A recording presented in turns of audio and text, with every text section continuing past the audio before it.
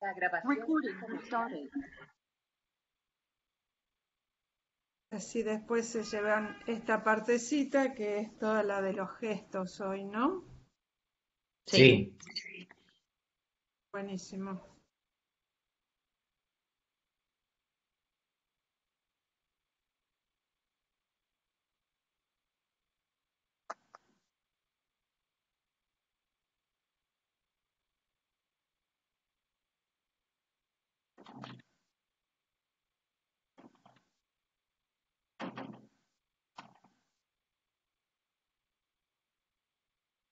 Vicky, después en los próximos días eh, te voy a estar llamando porque estamos con Verónica Planela, no sé si la conoces, a Vero, que es de Chile, vive en Canadá. Ah, sí, sí, sí. Estuvimos en un curso hace, hace poco. Estamos trabajando en contenidos para, para hockey. y, me parece que tus presentaciones este, servirían muchísimo para tener un punto de partida, para después ir adaptando. bueno, cómo no. Cuando terminemos las actividades del año, vamos a empezar con eso. Dale, un placer tomando un impulso muy importante. No sé si leyeron que nos aceptaron como juego demo en, en Berlín. Sí. Eh, sí.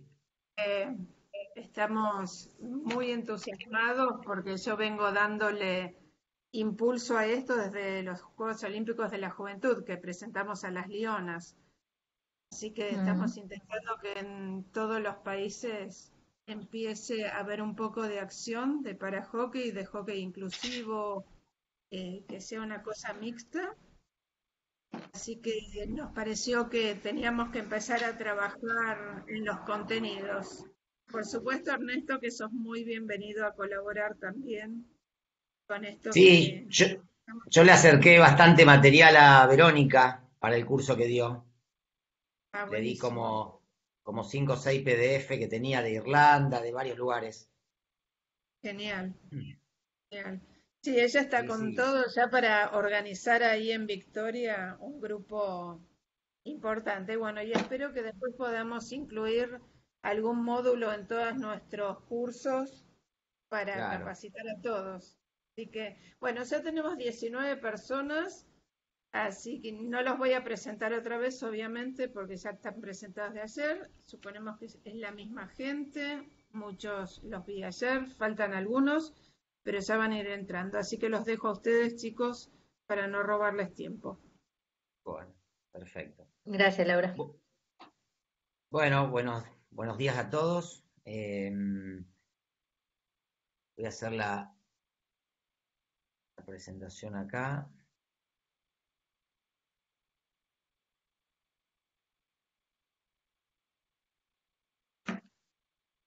Bueno, ahí del día 2.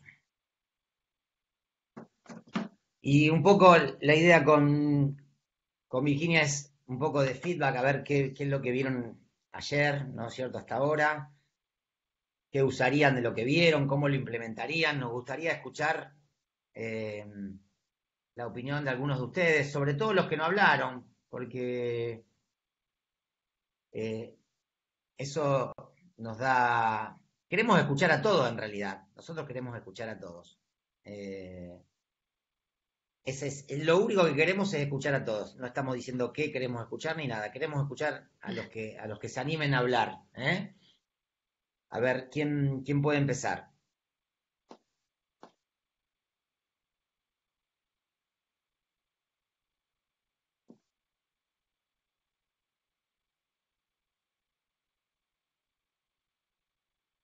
Buen día, buenos días a todos.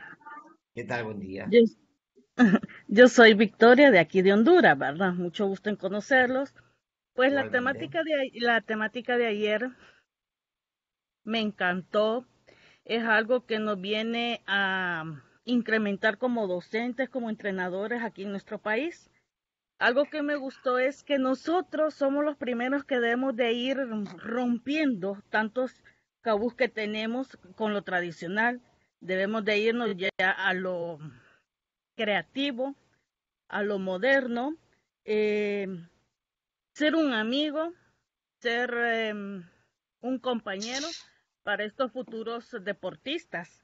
Mencionaban ayer, e igual lo decían ustedes, de que debemos de escucharlos, ¿verdad? Y junto con ellos ir saliendo adelante con el deporte. Junto, juntos con ellos nosotros debemos de buscar la forma de ir avanzando y poder, el objetivo pues es ir ganando siempre, ¿verdad? Em, no quedarnos con lo que pues, sabemos, ir buscando siempre más, más, más, para así nosotros poder ir em, saliendo adelante.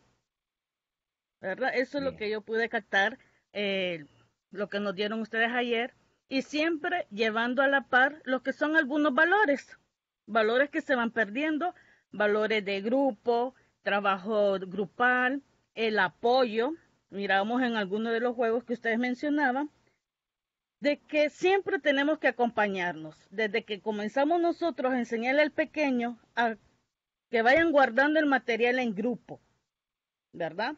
Ir guardando el material, valorar lo que tenemos, valorar lo que tenemos, que puede ser el material, puede ser el compañerismo, los compañeros, e ir buscando siempre. Eso es lo que yo puedo captar de lo que nos fueron enseñando el día de ayer. Gracias, Victoria. Gracias, Victoria.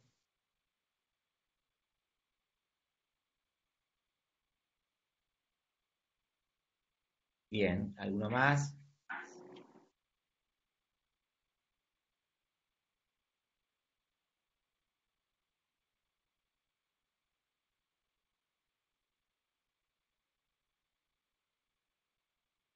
¿Alguien más que quiera compartir algo? No es un examen. es este, queremos, queremos escucharlos a ustedes y ver, bueno, qué les pareció.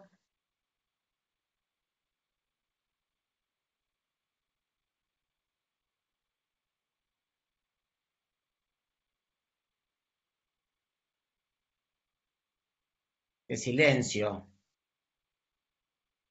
Bueno. Buenos días a todos. Buenos días, Virginia. Sí. Buenos días, estimado ¿Qué tal? Buen día, amigo ¿qué tal? Ernesto. Este, solo para hacer una, una invitación a todos los participantes para que participen. Esto, que no se queden con las dudas, que no se queden con las consultas. Lo que estamos, lo que tú estabas exponiendo, este, no hay preguntas malas ni preguntas buenas. Este, a veces este, me toca participar porque a veces de, no me gustan que las conferencias solamente sean de un lado y que de aquí para allá no hayan ninguna interacción. La- las conferencias son de mucha interacción. Entonces, la mayoría de los que están participando son eh, eh, profesores licenciados en educación física y estudiantes de educación física y también de otras universidades que son muy importantes. Eh, la, lo que yo estoy haciendo en este momento es invitando para, a todos para que participen, que no se queden con las dudas. Esa es más que todo mi, mi inquietud. Y la otra solo es una consulta nomás. Eh, Sí. eh, ayer hablaron de la parte lúdica, de la parte que desarrolla la actividad motriz en el niño, que es jugando. Y esa es una parte muy importante que yo quisiera siempre que profundizaran porque eh, a veces algunas personas cometen el error de ir directamente a trabajar específicamente con la fundamentación técnica eh, eh, en su totalidad. Yo creo que la parte lúdica en el- como proceso de enseñanza-aprendizaje dentro de lo que es la pedagogía es muy importante porque ahora eh, en el deporte la, la- la parte pedagógica no se debe de dejar a un lado.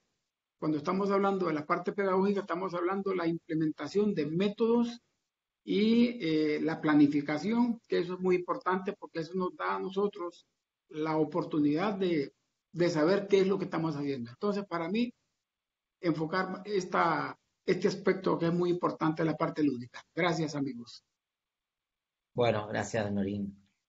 Eh, bueno, está muy bien reforzar el mensaje. Sé que no es fácil, sé que no es fácil hablar en público porque, bueno, uno siempre está, eh, tiene la sensación de que está expuesto a la mirada de los demás, pero acá el ambiente que nosotros queremos crear participación y, y, aparte nos van a hacer creer a nosotros que somos muy claros y nosotros sabemos que no somos. Entonces, eh, si no hay preguntas, pareciera que está todo muy claro y que nosotros lo hemos explicado perfecto. Y no es así. Entonces, las preguntas, como dijimos ayer, también nos, nos, nos sirven a nosotros y nos guían. ¿eh? Bueno, muy bien. El módulo 5, ¿sí? que sería los gestos técnicos, ¿sí? Eh, es el que va a venir ahora, pero antes vamos a, terminar que faltaba una pequeña partecita ¿eh? de ayer, así que antes de pasar a ese, terminamos la parte de ayer. Bueno, dale nomás, Virginia. Arranco yo entonces. Sí. Este, déjame compartir pantalla. Dame un segundito.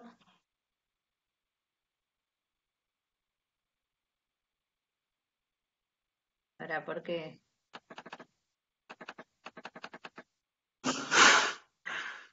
Buenos días. Buenos días, dame un segundito que estoy por compartir acá. Lo quería dejar ya ahí donde... Ahora sí. Bueno, habíamos, yo había explicado ayer eh, algunos de los juegos, ¿verdad? Que eran, por ejemplo, el castillito, el gallinero. Y ahora eh, quería contarles por arribita otros juegos que también son eh, buenos para practicar los juegos de conducción, ¿verdad? Este, y como les decía ayer, siempre está bueno tomarlos como un punto de partida, pero no como que es lo único que está bien, eh, sino estos son unos juegos que los podemos adaptar a como mejor nos sirva a nosotros, a la cantidad de niños que tenemos, al espacio. Entonces, bueno, todo es adaptable, estos son solo disparadores para que después ustedes puedan crear sus propios juegos, usar estos o adaptar estos este, para que les sirva a ustedes. Entonces, eh, yo ya les había contado el gallinero y el castillito. Ahora, por ejemplo, el juego de los números, que creo que se los dije ayer, eh, hay dos equipos, cada uno tiene un arco. Este, primero empezamos con dos bochas, entonces no va a haber oposición, sino va a ser solo conducción hasta tirar al arco, que ahí era lo que decíamos que hay que ir adaptando y viendo cómo mejor nos vaya a servir para que lo puedan aplicar. Eh, les decía que a veces me pasaba que de repente llegaban a mitad de cancha, tiraban la bocha y no había nada de conducción. Entonces, bueno, ahí, estando en el momento, ustedes van viendo qué es lo que está funcionando, qué es lo que no, y, por qué no ir cambiándolo para que sirva. Porque eh, está bueno de que sea divertido para los chicos, que era lo que decíamos, que no podemos perder la parte de diversión, sobre todo en los comienzos, pero eh, también que sea este, un, un juego eh, educativo y que, no, que nos sirva, ¿verdad? Entonces, este, bueno, tener esa apertura de ir cambiando los juegos para que vayan sirviéndonos a cumplir nuestro objetivo y que a su vez sea divertido. Después este, el juego del cono, eh, que yo lo juego, que es como el juego de la silla, ponemos conos eh, desperdigados por toda la cancha, cada uno va a tener su cono, cuando suena el silbato, empiezan a conducir por todos lados. Cuando suena el silbato, tienen que ir a tocar una de las líneas de afuera primero, porque si no todos se quedan al lado de su cono.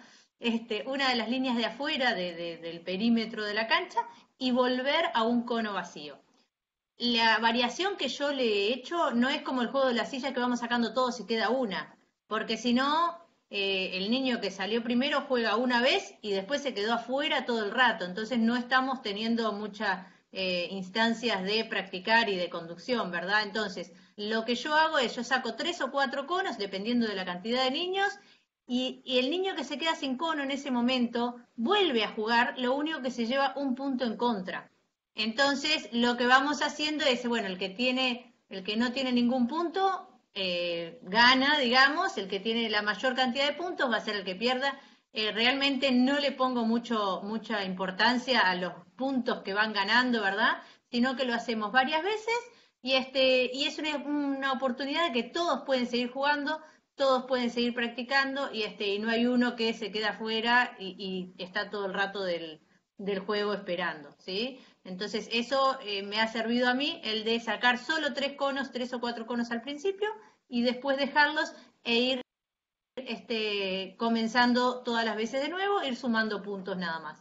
Después, este, bueno, el, típico, el tradicional postas en, el campo con los conos, ¿verdad? De ida y vuelta con equipos, que, increíblemente esto siempre le gusta a los chicos. Eh, a mí no me gusta hacerlo muy seguido, pero sí eh, me echarlo, ¿verdad? Que son carrera en conducción y este y por alguna razón es siempre bastante bastante popular entre entre los juegos, así que bueno, está bueno mantenerlo y utilizarlo. Después, obviamente que podemos hacer en ese juego eh, hacerle con ponerle conitos en el medio, que ellos tengan que, que ir este sorteando, ¿verdad? Distintas variaciones, pero bueno, esos son los juegos de postas en campo. Después también eh, juego del cono, cuando tenemos conos desperdigados, otro juego que hacemos es en postas, es llevar las bochas hasta el cono que tengo vacío, dejarla y volver corriendo. Y eh, este, ahí vamos llevando todas las bochas hasta ocupar todos los conos, ¿verdad? Y eh, dos equipos, a ver si me, si me explico, hay dos equipos que cada uno de los jugadores del equipo tiene una bocha. Entonces están todos los conos desperdigados va a haber un cono por cada uno de los jugadores que tenemos. Los que, tienen la bocha, los jugadores van, llevan en conducción, tienen que levantar la cabeza, buscar qué cono está libre y no tiene bocha, dejar la bocha al lado del cono y volver corriendo. ¿sí? Esa es la primera parte. El equipo que lo hace primero, digamos, es el que gana o se lleva el punto. Después, al segundo juego, lo que hacemos es al revés. Vamos corriendo a buscar la bocha que está eh, en cualquiera de los conos, ¿sí? Y la traigo en conducción y mi compañero va a buscar las bochas que están al lado de los conos. ¿Se, entiende este juego?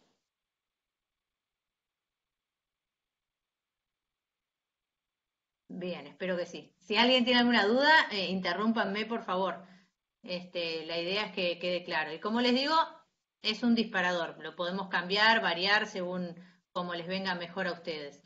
Este, después, por último, bueno, el castillito ya lo expliqué, y el laberinto eh, en realidad es un punto de partida, uno empieza en un cono, eh, otro empieza en otro cono, y ponemos como arquitos entre medio, por ejemplo, tres arquitos este, entre un punto y otro, y los dos jugadores salen con la bocha, tienen que pasar por adentro de los arquitos, cruzarse y llegar al cono de enfrente.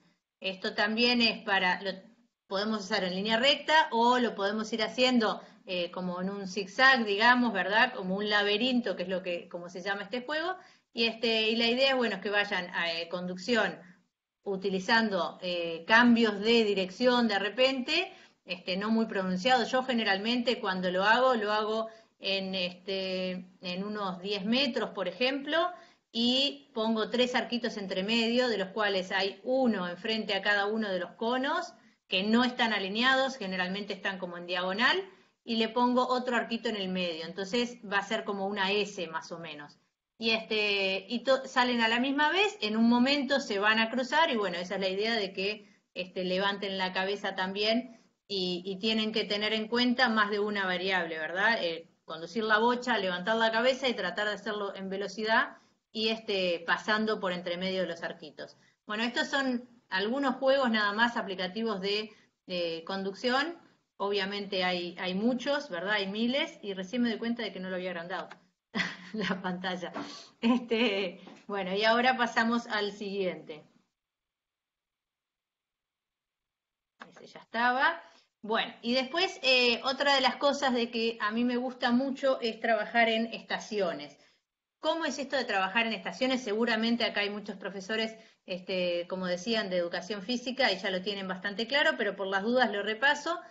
Eh, son estaciones donde utilizamos distintos juegos a la vez y los chicos van rotando. Un, por ejemplo, un equipo tiene el, eh, un grupito va al tenis hockey, que ahora se los voy a explicar cómo es.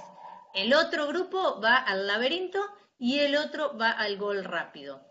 Lo importante es que cuando hacemos, acá en esto tenemos, en el tenis hockey vamos a estar practicando la técnica del push. En el laberinto la conducción y en el gol rápido es un poquito de los dos, es conducción y tirar al arco en movimiento este, de manera rápida, digamos, ¿no? Eh, sobre todo esto es, más tirar al arco eh, en conducción y poder sacar un, push, un tiro al arco eh, en movimiento. ¿Qué es lo que tenemos que hacer acá? Es un grupo empieza en uno, otro en otro, otro en otro, y después rotan entre sí. Generalmente te lleva un poquito de tiempo ir explicándolo, explicar todas las estaciones, ¿sí? Y después de eso van a ir rotando. El tema es que lleva un poquito de tiempo, ¿sí? Pero después los chicos están súper eh, compenetrados y concentrados en la tarea, lo hacen muy bien, después rotan, o sea que a veces vale la pena eso que a veces demoramos un poquito, ¿verdad? Este, pero realmente a mí me resulta muy provechoso, eh, generalmente trabajan muy bien y lo que tenemos que tener en cuenta es que de estas estaciones tenemos que tratar de asegurarnos de que hay algunas que, las chicas las puedan hacer solas o solos, ¿verdad? que yo no tenga, que no tenga que estar el profesor, porque al hacer tres estaciones, por ejemplo, nosotros podemos estar monitoreando una, pero las otras tienen que estar jugando solos en el mismo momento. Entonces, por ejemplo, en el de tenis hockey, eh, en estas tres ejemplos que yo doy, los chicos ya saben jugarlo, ¿sí? tenemos que ponerles juegos que ellos ya sepan jugar, eh, ya lo saben jugar, ya lo pueden hacer solo y no necesitan de que yo esté ahí, yo, el profesor esté ahí todo el tiempo. Entonces, eh, nosotros vamos rotando con ellos a veces, este, pero tenemos que tratar de pasar por todas las estaciones, pero asegurarnos de que ellos puedan seguir solos sin la asistencia del docente. Para poder hacer eso, les repito, tienen que ser juegos que ellos ya conozcan, no podemos implementarle un juego nuevo. O si tenemos en alguna de esas estaciones algo que requiere nuestra eh, participación, por ejemplo, cuando hacemos algún desafío de uno contra uno, bueno, uno que sea así, donde nosotros nos aseguramos de estar siempre ahí, y en los otros que ellos ya sepan. Siempre van a tener alguna consulta de que qué pasó, que fue gol, que no fue gol, que este, y bueno, en esas cosas de repente los podemos ayudar, les decimos, eh, si no están seguros, si hay duda, va de vuelta el punto, y bueno, y con eso arrancan de vuelta. Este, y esto el tiempo que tengan que no sea más de 8 minutos por estación, ya es demasiado, me parece. Entre 5 y 8 minutos va a estar, va a estar bien podemos hacer pausas según el clima, el calor, ¿verdad? Eh, a mí me gusta hacer pausas, que vayan a tomar agua, hidratarse y vuelvan, ¿sí? Este, que no se les haga tedioso, porque a veces se hace mucho calor y estamos mucho rato en un ejercicio o algo.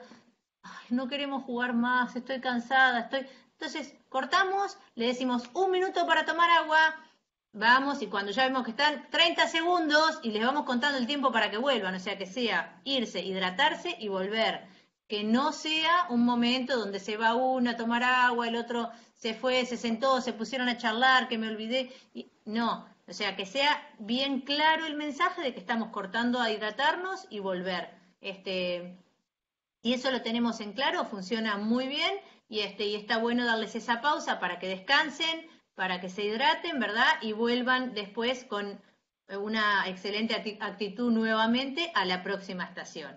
Eh, ahí les puse el ejemplo, ahora el ejemplo del tenis hockey, a ver, creo que está en la otra, en esto, acá. Esto son, es un juego de pases. Acá no sé si lo llegan a ver bien. Hay dos conitos, ¿los ven? Con una jugadora y acá otros dos conitos enfrentados. Hay un montón de canchitas una al lado de la otra, ¿sí? Y lo que hacemos es, de arco a arco, eh, cada uno está en su cancha, en su arco, por eso le decimos tenis, ¿verdad? Pero es un partidito de arco a arco, donde solamente le podemos tirar de push, por ejemplo. Después lo podemos hacer con este, barrida manos juntas, manos separadas, podemos ir variando las técnicas, pero eh, es un ejemplo de juego de pase, ¿verdad? Entonces tenemos que tratar de meterle gol a la de enfrente. Y lo que podemos ir haciendo cuando recién estamos aprendiendo este juego y no es dentro de la parte de las estaciones, yo lo que hago es las voy rotando a las chicas. Entonces de repente eh, todas se van un paso a la derecha, juegan dos o tres minutitos, paramos, cambiamos, rotan todas a la derecha y ahí en ese mismo juego están jugando varios partiditos, una vez contra una, otra vez contra otra y estamos todas activas y empiezan a, a contar de vuelta que a ellos les encanta ir viendo cuánto van de resultado, en esta fue la que fue gol o no fue gol, porque pasó por, al, por arriba del cono, cuando usamos los conos chiquitos, ¿verdad? Entonces, bueno, ahí no, pero le pegó y no fue de push. En esas cosas decimos, bueno, hay vueltas si no sabemos, este, y, las chicas, la verdad que se enganchan muchísimo en esto. Y después hay otros juegos como el monito, que es el, el viejo y querido monito, dos contra uno, lo podemos hacer a mi gusto, es mejor hacerlo en un espacio delimitado, porque si no empiezan a irse para todos lados, se separa mucho y, este, y, medio que perdemos un poco eh, la posibilidad del medio de recuperar la bocha y el, y el sentido de eh, control.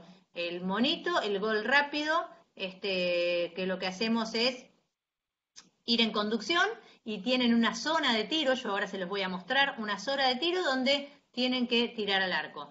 Eh, mete gol entra, este les encanta a todos los chicos, eh, siempre cuando están por empezar y esperando a los otros, ellos se ponen a hacer mete gol entra, que nada, eh, uno tira al arco y si mete el gol entra al arco y es el arquero y el otro va a la fila. Esto está bueno si no son muchas jugadoras, después de cuatro o cinco ya este, es demasiado tiempo de espera a mi gusto y este, podemos hacer o más, o más arquitos o, ir variando, ¿verdad? Este, ahí también podemos meter un poco el tema del circuito. Bueno, en vez de solo el mete gol entra, hacemos un enganche primero, eh, un dribbling, slalom o algo y después tiramos al arco. Y por último, el manchado, eh, que el manchado no es el, manchado tradicional donde le tenemos que pegar a nadie con, la bocha, ¿verdad? Este, lo que hacemos son dos equipos, es la cancha del manchado, digamos, eh, y tenemos una reina del otro lado. Todos saben cómo es el juego del manchado, capaz que es acá en Uruguay y en, y en Honduras, por ejemplo, no. Er, Ernesto, en, en Argentina se juega el manchado. Sí. con la pelota del equipo enfrente, tenés una reina del otro lado. Sí, sí, sí. no sé, ¿en Honduras también? ¿Alguien ah, por ahora no. Por ahora no. No. el manchado es con una pelota como de, de voleibol y le tenés que tratar de manchar al de equipo enfrente. No, no. Creo que se llama diferente, tal vez como capeador o bola caliente, no sé cómo le llaman. Ah, puede ser. Bueno, este juego no es así. Pero... ¿Cómo es? Quemado. Quemado. Exacto. Ahí va. Bueno, eh, yo lo llamé así en realidad, pero es más que nada por la disposición de los equipos. Hay un equipo en una mitad, otro equipo en otra mitad, como si fuera el voleibol también, ¿sí? Y hay un jugador del equipo que está en la izquierda al fondo del equipo de la derecha atrás de todo el otro equipo. Y lo mismo de este lado, un jugador de este equipo que está atrás del otro. Y la idea de este juego es tratar de hacerse pases entre el equipo que está acá y los la o las que están de reina, digamos, del otro lado. Entonces tienen que tratar de hacerse pases sin que lo frene el otro equipo. Y a su vez este equipo tiene que hacer pases con ese. El primero que llega a 5, a 10, lo que sea, gana. Eh, yo generalmente me gusta ponerle dos bochas, entonces hay dos bochas jugando y ellos están muy atentos a interceptar las bochas. Se empiezan a, esto generalmente lo hacemos para un poquito más grandes, no tan a nivel inicial. Eh, pero empiezan a hacer este, estrategias también, quiénes van a estar defendiendo, quiénes van a estar, porque al haber dos bochas, uno se tiene que ocupar de, una y otros de otra, ¿verdad? Y, este, y bueno, estamos practicando el pase, la recepción, porque si la recepciona es un punto, pero si se le desvía, se le va, no vale el punto, ¿verdad? Entonces estamos practicando la recepción, estamos mirando, eh, practicando la visión periférica también, porque yo estoy por tirar una, pero si me va a venir la otra bocha, tengo que tratar de interceptarla para que el otro equipo no la agarre. Este, a los chicos les encanta ese juego, pero ya lo uso un poquito más grande, ya a partir de quinto de, quinto de primaria, cuarto, quinto, no, no en los más chiquititos.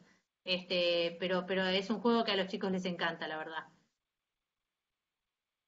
Bueno, acá hay un ejemplo, a ver, díganme si se ve bien. Eh, es un ejemplo del gol rápido, es un videíto. Ustedes van a ver que hay una línea punteada y una línea, y una línea llena, digamos, que es un área más grande y un área más chica, donde las chicas tienen que ir en conducción y una vez que entran en esa zona, en esa zona tienen que tirar al arco no se pueden pasar ni pueden tirar de antes. Entonces van en conducción y cuando entran en esa zona eh, tiran al arco. Acá eh, había sido empate, entonces van de vuelta. Díganme si se llega a ver bien. A ver, yo no lo veo todavía.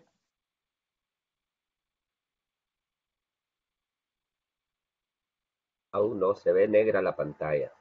No, es que a mí también se me está viendo negra, pero esperen un segundito porque lo que puedo tratar de hacer es verlo por afuera A ver, capaz que...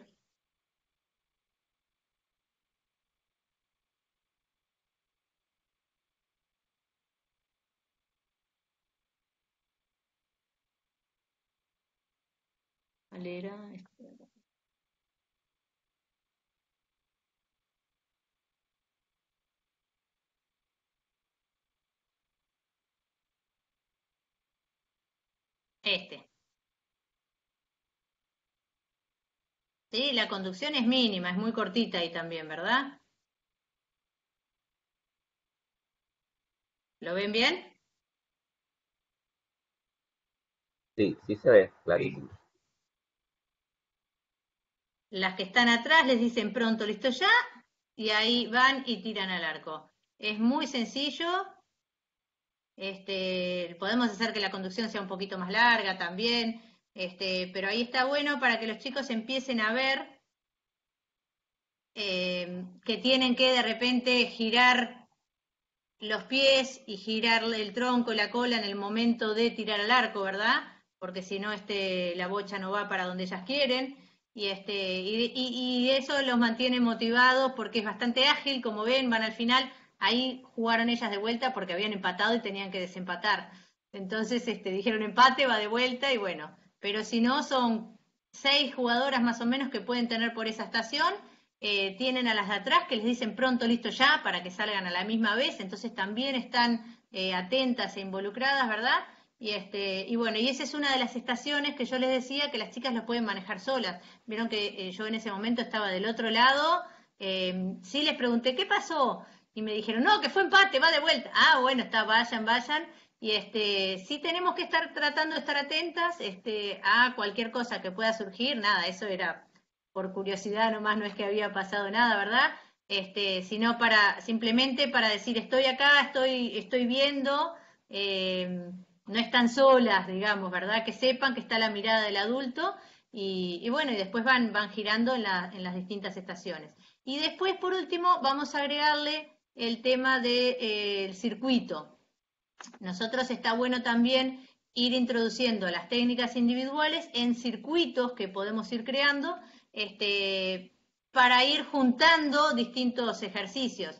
Eh, acá, por ejemplo, en este circuito que les voy a mostrar, a ver, vamos a ver si anda, si no lo miro por fuera, eh, tenemos de un lado, van a ver que hay conos, del otro también, y podemos ir desde la izquierda, de la derecha, a ver si ahora anda, tampoco.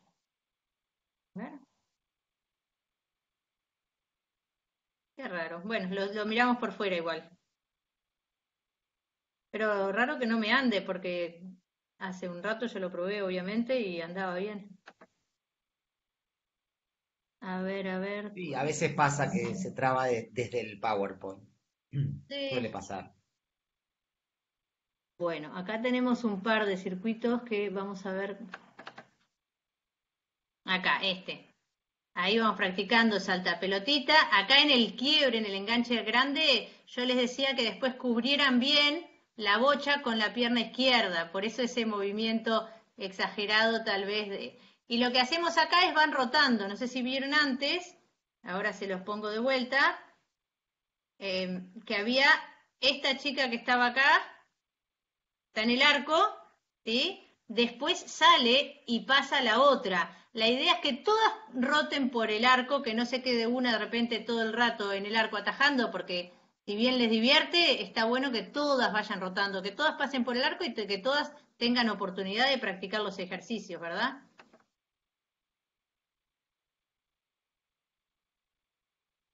Miren cómo cubre con el pie izquierdo, eso, cubre la bocha para que no se la saquen. ¿sí? Y una vez que entro a la zona de la zona punteada a la otra, ya puedo tirar al arco. Ahí la que tiró al arco se va al arco y la otra se va a cualquiera de las dos filas o rotamos en sentido de dirección horaria, por ejemplo. Este es uno. A ver, vamos a ver el otro. Ah, no, este no era. Espera un segundito. Lo quise hacer así, pero... Acá hay otro circuito donde vamos haciendo slalom, de repente derecho y revés, eso lo vamos cambiando nosotros, ¿verdad? Eh, ahí le metió un giro, Y acá vamos a hacer, por ejemplo, un doble quiebre. Eso. Son distintas técnicas que vamos aplicando, las juntamos, ¿sí? Eh, a ver, vamos a volver acá a la presentación. No tengo más. Sí. Quería ver. Ahora después le voy a mostrar un partidito que solamente no por mostrar el partido en sí, porque van a ver que es cortito, no es muy bueno en realidad, pero para que vean la adaptación de las que les contaba el otro, ayer, eh, de los partidos que jugamos en espacios más chicos, espacios reducidos, ¿verdad? No muy reducidos, que sea amplio para ellos, pero no en cancha grande, eh, canchitas de 3 contra 3 y van a ver acá que están los dos arquitos al frente, a ambos lados, para que las chicas puedan meter en conducción ese, el gol. No encuentro acá. ¿Sí? Acá buscamos pase. Está medio filmado de cerca. Pero no sé si llegan a ver que ahí hay un arquito. ¿Sí? Y acá del otro lado está el otro. Es muy cortito en realidad, pero para que vean que si ven allá al lado hay otra canchita jugando también a la par con más jugadoras, ¿lo ven? Y tenemos en la cancha grande, los tenemos por sectores donde puedan ir jugando en, distintas, en distintos lados. Entonces, tenemos muchas jugadoras jugando a la misma vez, aprovechando el espacio en eh, espacios reducidos. Y ahora volvemos acá a la presentación, que tengo unas sugerencias generales para hacerles, eh, donde dice, un jugador siempre se tiene que ir de una práctica habiendo ganado y perdido. Como decía, con, eh, como decía Ernesto ayer, eh, está muy bueno de que se equivoquen y que tomen de repente la decisión equivocada. Equivocada en ese momento, pero en realidad está muy bueno y les sirve para que, para que suceda el aprendizaje, para que vayan aprendiendo y mejorando. Entonces, está bueno que, un jugador no se vaya siempre habiendo ganado o siempre habiendo perdido. Eh, eh, si siempre gané, creo que ya de repente, por ejemplo, no tengo más nada que mejorar. Y, está bueno que sepan que siempre, siempre hay espacio para mejorar, no importa en qué nivel estemos. Eh, y tampoco está bueno que los chicos se vayan habiendo perdido todos los juegos, todos los partidos, porque es muy desmoralizador. Entonces, este, nosotros como educadores, entrenadores, tenemos que ver, bueno, nos damos cuenta que alguien de repente siempre perdió y bueno, tratamos de que en algún momento gane también como para no hacer trampa, digamos, y este, sino que, eh, bueno, ir moldeando las cosas y tratando de que todos los jugadores ganen y pierdan eh, en todos los entrenamientos. Y después eso, no darle igual demasiada importancia al ganar y perder en edades tempranas. Como les decía ayer, eh, nosotros en la competencia de estos de todo primaria le sacamos la tabla de posiciones, ¿sí? Para eso mismo, para no incentivar el ganar y perder, que no sea tan importante y darle mayor importancia al trámite de, al crecimiento y al, trayecto a lo largo de todos los años. El proceso va a ser más importante que el, el destino final. ¿Por qué? Porque el proceso nos va a asegurar a la larga llegar a buen puerto. En cambio, si intentamos eh, ir ganando en las primeras instancias, de repente por ahí ganamos, pero a largo plazo eh, no aprendieron bien algunas cosas y no le dimos demasiada importancia y cuando realmente queremos llegar a ser exitosos, eh, capaz que nos juega en contra. Entonces, bueno, asegurarnos de que cuando están aprendiendo, de que nos salgan bien las cosas y aprenderlas bien para que después los resultados los tengamos a largo plazo. ¿sí? Después, Sugerencias como entrenadores dentro de la cancha, dentro de los entrenamientos. La organización espacial eh, es súper importante para los chiquitos, sobre todo, usar, por ejemplo, conos de colores para darle mayor claridad visual. Que ellos vean de que el ejercicio de ese, esa estación son los conos verdes y aquella otra estación son los conos naranjas y aquella otra estación son los conos amarillos. Entonces, ellos visualmente ya lo ven mucho más fácil, ¿sí? Y, este, y se les facilita entender de repente los ejercicios o ver a dónde ir, sobre todo en estos que tienen las rotaciones, ¿verdad? Después, este, bueno, eliminar el no puedo del vocabulario del niño. Eh, no puedo todavía, no me sale, pero ya me va a salir. Muchas veces te dicen, ay, está, no puedo y no lo quiero, como que no lo quieren intentar más y decir, bueno, todavía no te sale, pero vamos a seguir probando porque ya va a salir. O sea, incentivar eso del esfuerzo, ¿verdad? Y que, bueno, si no me sale ahora, pruebo mañana y si no, pasado, pero en algún momento vamos a acercarnos y nos va a llegar a salir. Y después, como les decía, tenemos que ser un entrenador activo, incentivar y motivar a los chicos, corregir, corregir, corregir, corregir, corregir todo el tiempo, ¿verdad? Pero siempre tratar de hacerlo por lo positivo y construir desde el error. Eh, está bueno, de repente vemos que, hicieron un pase y le decís, eh, está muy bueno eso, ahora la próxima trata de probar a ver si lo podés hacer separando un poquito más las manos, a ver si te funciona. Y ahí no les está diciendo, no, está horrible lo que hiciste, sino que, ah, bueno, está, pruebo de separar un poquito más. No es que lo hicieron más, mal, lo que sí lo pueden hacer mejor. ¿sí? Entonces, buenísimo ese dribbling que hiciste. Ahora trata de hacerlo igual, pero con la bocha más pegada al palo o trata de hacerlo un poquito más rápido ya que ya te sale así eh, eh, despacito, ¿verdad? Siempre darles un poquito más, pero tratar de construir desde el error. ¿Viste esto que te pasó? Bueno, a ver, probá si lo haces de esta forma, a ver si no te sale mejor. Entonces ellos no sienten de que lo hicieron mal y que tienen que cambiar todo, sino que de a poquito. O si vemos de repente varios errores que están haciendo, por ejemplo, estamos haciendo un push, tiene las manos juntas, eh, los pies están mal y encima, en vez de empezar el palo pegado a la bocha, lo empiezan separado. ¿Qué es lo que tenemos que hacer? ¿Corregirle todo a la misma vez? Eh, es muy difícil para ellos asimilar todos esos conceptos juntos. Entonces decirle, bueno, vamos por partes. Corrijamos primero una de las tres cosas. Bueno, ¿viste dónde empezaste el palo? Eh, acordate que el palo tiene que empezar pegado a la bocha. No lo podemos separar, pegado. Lo hace muy bien. Ahora probá de separar un poquito más las manos. Probamos. Bien, acordate del palo, que no empiece, que empiece pegadito a la bocha. Al tercero, recién después, bueno, viste los pies ahora, fíjate de separártelos un poquito más, a ver si ahora sale un poquito más fuerte la bocha. Entonces, hacemos todas las correcciones, pero lo vamos haciendo pautados, de a uno, cosa de que los chicos lo puedan ir asimilando, porque no puedo pensar en tres cosas a la vez, no puedo pensar en los pies, en el palo y eh, en, la posición de, mi cuerpo, por ejemplo, ¿verdad? Entonces, démosles pautas claras, indicaciones sencillas, simples y de a uno. Ya va a llegar, ya vamos a corregirle todo, pero tenemos que seleccionar qué corregir en cada instancia, no todo junto, porque es demasiado y al final no van a corregir ninguna de las tres cosas que estaban haciendo mal. Este, y después otra cosa de los que yo quería hablarles también era darle, que ayer se los mencioné también, es darle más a los más avanzados. ¿Qué es lo que quiero decir con esto? Estamos haciendo un ejercicio. Hay, eh, estamos haciendo el, el revés, este, el dribbling arrastrado, el, el quiebre, como le digo yo, y el dribbling arrastrado, como le dice Ernesto. Este, ya le sale perfecto. Entonces, después, ¿qué es, lo que, ¿qué es lo que hago? Bueno, le digo que de repente, después de que haga eso, cubra con el pie izquierdo como lo estaba tratando de hacer ahí en el ejercicio que vieron ustedes.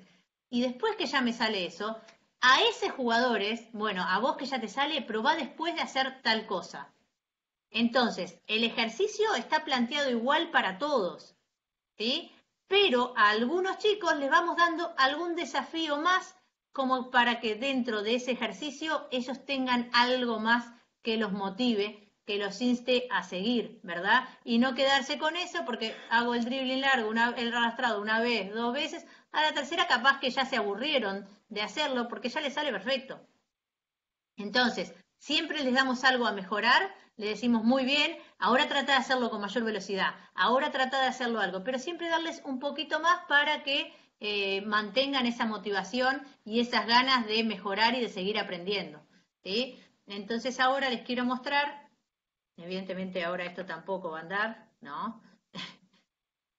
lo voy a sacar y lo voy a abrir desde afuera. Tengo una pregunta. Buenos sí. días. Sí, buen día. Este, con, de acuerdo a los primeros incisos que usted estuvo hablando, cuando nosotros tenemos un jugador demasiado competitivo, ¿cómo se trabaja con este jugador? Eh, esa pregunta es muy importante, es muy buena, porque siempre nos pasa a todos que tenemos eh, ese tipo de jugadores, ¿verdad? Entonces, em, para mí, ay, perdón, estoy tratando de salir de ahí. Em, a ver, no vamos a poder cambiarles la naturaleza de ellos, ¿sí?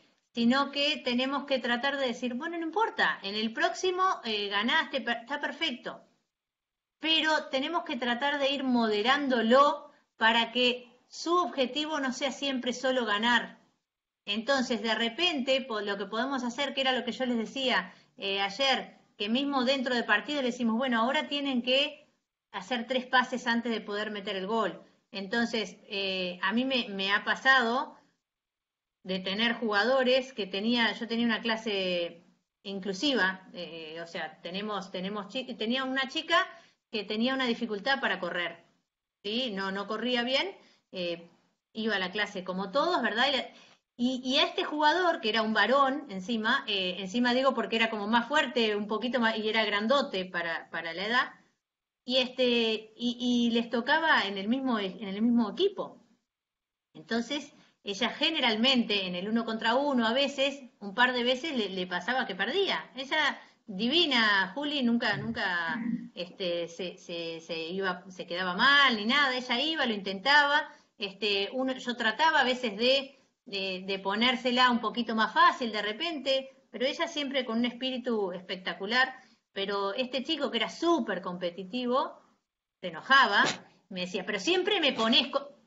Entonces, siempre me pones con Juli, que entonces, este, eso es muy importante tratar de trabajarlo. Yo lo hablé con él afuera también. Este, incluso hablamos con la mamá y, la mamá me dice, sí, yo veo que él es demasiado competitivo. Se, se me ponía a llorar porque perdía y encima le tocaba con una jugadora que para él era como que jugaba para atrás porque realmente tenía, tenía una, una dificultad. Este, pero, pero de a poquito él fue viendo también que somos todos iguales, todos tenemos la misma oportunidad y, por ahí, este, ¿qué es lo que podemos hacer? Y vamos a ayudarla de repente, ¿no? Entonces, tratamos de trabajar juntos y, realmente es un, es un trabajo donde es muy importante, como te decía, eh, inculcar valores y trabajar de hacer un compañerismo. Entonces, eh, yo le decía, y bueno, por ahí tú sos muy bueno en una cosa y de repente precisas ayuda en otra área. Y otro chico esta chica Juli tiene muchas fortalezas en unas áreas que tú tal, vez no las tenés. Entonces nos tratamos de nutrir todos de todos y ver que lo importante es el trabajo en equipo, en este caso, ¿verdad? Y, este, y, que vayan aprendiendo que a veces me toca ganar, pero a veces también me toca perder. Y está bueno utilizarlo como enseñanza, ¿sí? Para poder crecer. Este, al principio a los chiquitos les cuesta, es verdad. No es tan fácil decirles, bueno, te tocó perder y ya está. Este, pero sí es un trabajo, digamos, de hormiga, como de todos los días, es un trabajo que se va construyendo, no, no vamos a cambiar a ese niño, ni lo vamos a hacer entender de un día para el otro, ¿no? Pero sí es algo que vamos construyendo y está bueno si tenemos el apoyo de la familia también, está bueno que ellos lo trabajen desde casa, este, y creo que se puede, se pueden lograr cosas, pero con mucho esfuerzo, trabajo, eh, humildad y sobre todo haciendo estos trabajos como les decía, de trabajar en valores desde, desde el principio. No sé, Ernesto, si querés acotar algo con respecto a esto. No, no, no, está bien. Yo diría que pasemos a, los gestos. Así. Dale, déjame, déjame mostrarles un segundo más eh, estos videitos que son muy cortitos de los desafíos dentro del mismo ejercicio y, y ya pasamos a los gestos, ¿te parece? Bueno. A ver acá, bueno, entonces, por ejemplo, acá tengo un ejercicio que los conos van a ser, por ejemplo, los mismos. ¿Ven? Hay un, este, un zigzag ahí, un slalom. ¿sí? Y después, algunos jugadores acá, acá algunos jugadores entre el cono naranja y el cono naranja, les podemos decir que hagan conducción, conducción en dribbling. A otros jugadores que de repente que pueden un poquito más, les podemos decir, bueno, vamos a tratar ahora de hacer la eh, motoneta es lo que es lo que va a estar haciendo esta niña ahora y este y de repente eso es un eh, eh, para ellos van a ver que, se motivan y les gusta mucho los conos son los mismos para todos pero a ella le decís a ella y a las dos o tres o cuatro que se animen, este, que lo intenten. Y algunas lo van a intentar y otros por ahí no, pero, pero está bueno darles un poquito más. Entonces ahí vamos a probar la motoneta, que son esos saltitos, ¿verdad? Y acá de vuelta podemos hacer un dribbling o este, velocidad, eh, conducción en velocidad, o como le dijimos a ella, que hiciera intentar hacer el avioncito. Es, un, es una técnica muy difícil para los chiquititos, pero este, está bueno si lo pueden hacer, que lo intenten por lo menos, ¿verdad? Ella lo intenta, se le cae un poquito antes, pero no importa. Y después acá va a seguir eh, con, con, otro, con otro ejercicio. Y acá viene la segunda parte, porque creo que la corté. Y acá lo mismo, acá van a ver que tiene cono amarillo y naranja, ¿verdad? Naranja y amarillo, naranja y amarillo. Lo que van a hacer ahora es, va a ser un quiebre de repente, no me acuerdo para qué lado, un este, dribbling arrastrado. Para todos les decimos que hagan solo el dribbling arrastrado. Para aquellos que pueden, vamos a tratar de una vez que llegue al otro cono de levantarla por arriba. ¿sí? Entonces esto les va a dar eh, otra motivación a esos chicos que lo pueden hacer. ¿Ven? Ahí y la levanta. Ahora lo mismo, voy hasta el amarillo y la levanto por allá. Es el mismo ejercicio, solo que le podemos ir agregando este, algunos desafíos más para los más avanzados. Y por último, creo que es el, último de acá, a ver. No, ese ya lo mostré.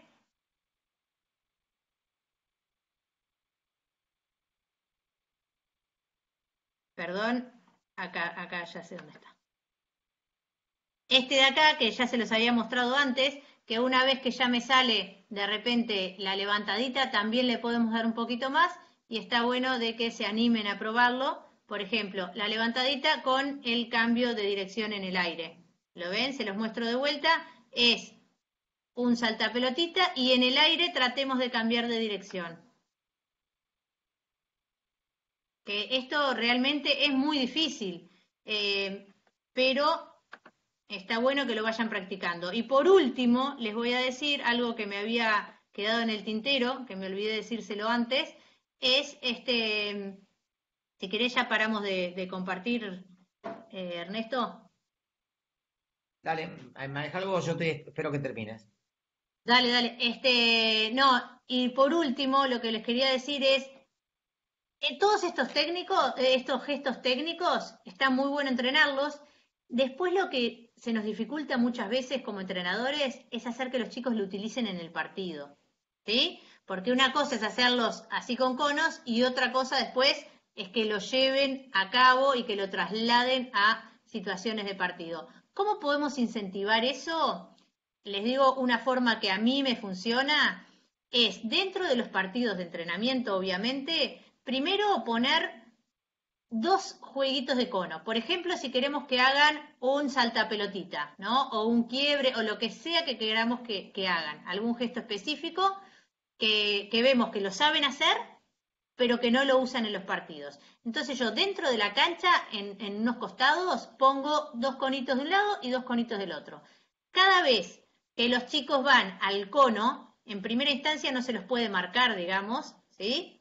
Después sí se van a poder marcar y después vamos a sacar los conos y lo tienen que hacer dentro del partido. Cada vez que los chicos se van y se enfrentan al cono y hacen el salta pelotita, el anticorredizo, por ejemplo, se llevan medio gol. Entonces, cada vez que hacen ese gesto técnico es un medio gol. Entonces, este, en los partidos es normal que cuánto van, tres y medio a dos, o dos y medio a uno y medio. Y entonces los chicos hey, si hago esto me vale medio gol y vamos perdiendo y bueno, vamos arrimándonos de repente. O, y de a poquito van sacando ventajas. Entonces eso es un incentivo que les encanta, porque les encanta poder practicarlos dentro del partido. Primero los pongo con conitos, uno o dos, no muchos más, porque si no interrumpen y molestan, digamos, para, para el juego en, en sí. Pero, pero si ponemos solo esos dos, los chicos ya saben, primero sin marca, después sí se les puede marcar cuando se acercan, entonces los chicos ya tratan de que no lleguen a esa zona y por último, eliminamos los conos y cada vez que yo veo que hacen esa técnica individual en el partido, les cobro medio gol. Entonces digo, van 3 a 2. ¡Ah! Ahí hizo un quiebre, medio gol, medio gol para el equipo, ahora vamos tres y medio contra dos. Y este, Y eso también nuestra forma de transmitirlo y, la importancia que nosotros le damos, los va a llevar a los chicos a intentar hacerlo, este, sobre todo porque les sirve en el resultado, ¿verdad? Pero va mucho en, la importancia que nosotros le demos. Y si no le sale, no le sale, no gana el medio gol, pero no es que va a perder nada, eh, sino, bueno, lo intentan. Lo intentan y nosotros les damos la posibilidad y le tratamos de incentivar eso. Pero si nosotros no le damos las instancias, no los incentivamos, eh, muchas veces no, queda, no salen de hacerlo en los conos y no lo trasladan al partido. Eh, bueno, por ahora nada más, Ernesto. Creo que me desplacé bastante. Bueno, vamos ahí entonces. Eh, Perdón, dale. Bueno. Bueno, vamos a ir rápidamente entonces con, con lo que son las empuñaduras o agarres, ¿no es cierto? Como le dicen ahí. Bueno, las básicas. Esta es una terminología que usamos, este, podríamos decir, no sé, en el cono sur, acá en Argentina. Este, les digo esto porque a lo mejor ustedes si hacen un curso en Europa, eh, lo califican de otra manera. Lo más importante es que cuando yo le diga al chico que la empuñadura haga empuñadura aplauso, él sepa es decir, los nombres, como cualquier cosa en la vida, los nombres son arbitrarios, ¿no es cierto? Yo tengo la computadora apoyada en una mesa. No hay nada en el objeto de esta mesa que, que, me diga a mí que es una mesa. Por eso, en otro idioma le llaman de otra manera. Son todos, la terminología es siempre arbitraria. Lo importante es que cuando yo diga algo, mis jugadores lo entiendan. Bien. Entonces, ¿para qué me sirve el aplauso? Ahora vamos a ver cómo es. Para, parar, para pasar la pelota de derecho, para pararla de derecho, para conducir, para girar con el derecho, para hacer un quite corredizo, que ahora después lo vamos a ver.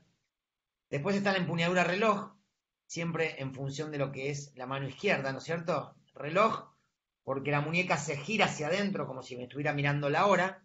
Sirve para hacer el dribbling, para cambiar de dirección, para detener la pelota ¿eh? y para un quite ofensivo. Y después está lo que se llama sartén, ¿no? O panquequera, no sé cómo, supongo que sartén, creo que ahí en Honduras también le dicen sartén, ¿verdad? El implemento para cocinar. ¿Cómo le dicen? Sí, sartén se maneja también. Sí, sartén también. Bueno, seguramente ahí hay varios que no cocinan, por eso no me contestaron rápido. Pero no importa. Bueno, para todos igual le decimos la empuñadura sartén, que me sirve para el jab, que es un gesto de quite, que después lo vamos a ver, para golpear la pelota de revés, hacer una conducción aérea, o anticorredizos, como me mostró Virginia ahí, que son, que es levantar la pelota sobre el palo del rival. Bueno, acá vemos entonces rápidamente, ¿sí? Nos concentramos acá en la B corta que se forma de la mano izquierda. ¿Ven la B corta? Ahora lo ven al mouse, ¿verdad?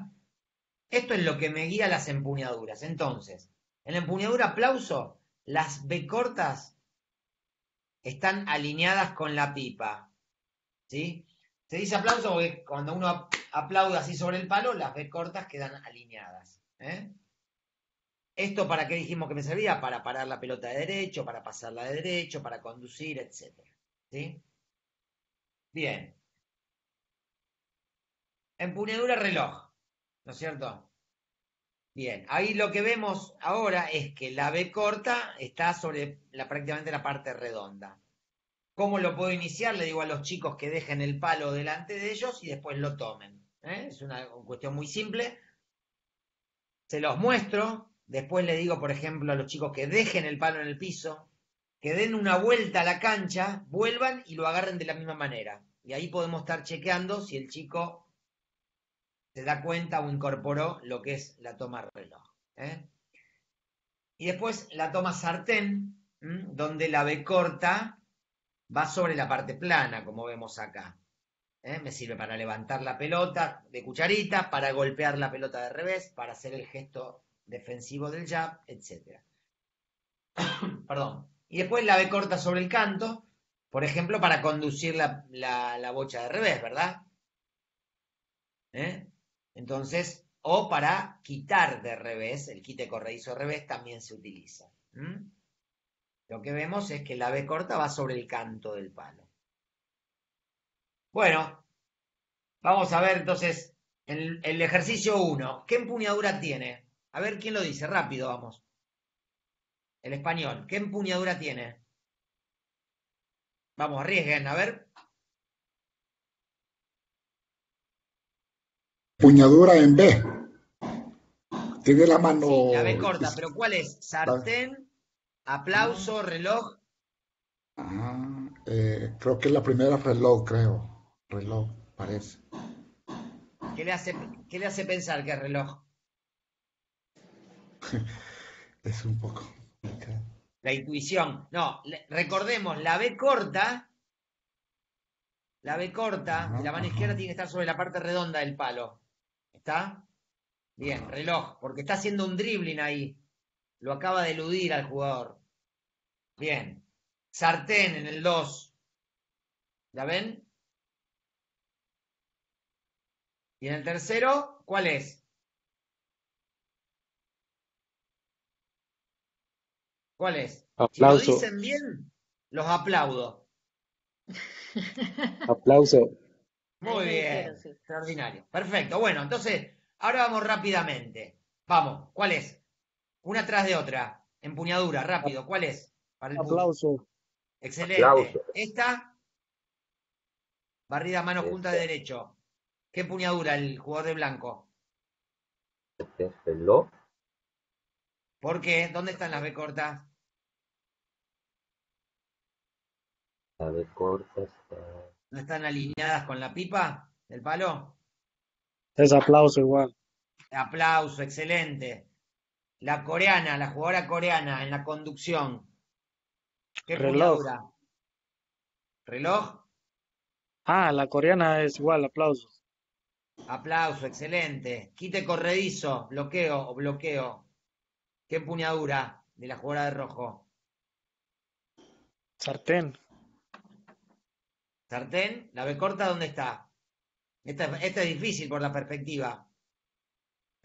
Lo mismo, aplauso. Esta, para el dribbling, el jugador español. ¿Dónde es está esa B corta? ¿Eh? Reloj. Reloj, excelente. Reloj. Esta, del australiano. ¿Eh? Reloj. Bien. Reloj. Esta, esta jugadora de mi club, Ayelena Stepnik. ¿Qué empuñadura tiene? Reloj. ¿Eh? ¿Cómo? No escuché, perdón. El reloj también, porque lleva el palo con la mano izquierda y la B la tiene en la puñadura. La B, la B corta, ¿está sobre la parte plana o sobre la parte redonda? Creo que es sartén. Sartén, excelente. Conducción aérea. Sartén. Empuñadura. ¿Eh? Sartén. Sartén, excelente. Golpe de canto de revés. ¿Qué empuñadura? Reloj. ¿Dónde están las B cortas? ¿Sobre la parte plana o redonda? ¿Qué les parece?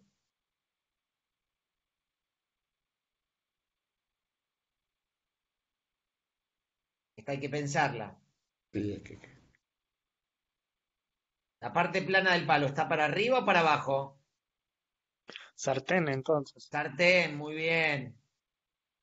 Conducción de revés. ¿Dónde tengo la B corta? ¿Dónde la tiene? Reloj. Reloj. Esta era una empuñadura que es más complicada, va sobre el canto. ¿Eh? Bien. Y el quite corredizo acá del argentino, que ya lo pasó, ¿cómo tiene la B corta? Sobre el canto. ¿eh? Para conducción y quite de revés. Perfecto. Bueno. Bárbaro. Bueno, lo que vamos a hacer Virginia, si querés ahora empezá vos con los gestos con bocha. ¿m? Dale. Dame un segundito. Salvo que haya alguna pregunta rápido, si no arrancamos. ¿eh? ¿Quedó claro la empuñadura? Bueno, ninguna pregunta. Dale, Virginia, entonces. Dame un segundo, ya voy. Sí. Ahí.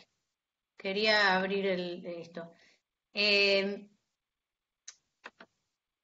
ahora voy a poner para compartir pantalla. Les pido disculpas que no pude sacar los videos. Este, espero que lo vean bien, eh, porque son de online, no los pude bajar, me los iban a mandar y bueno, no, no se pudo.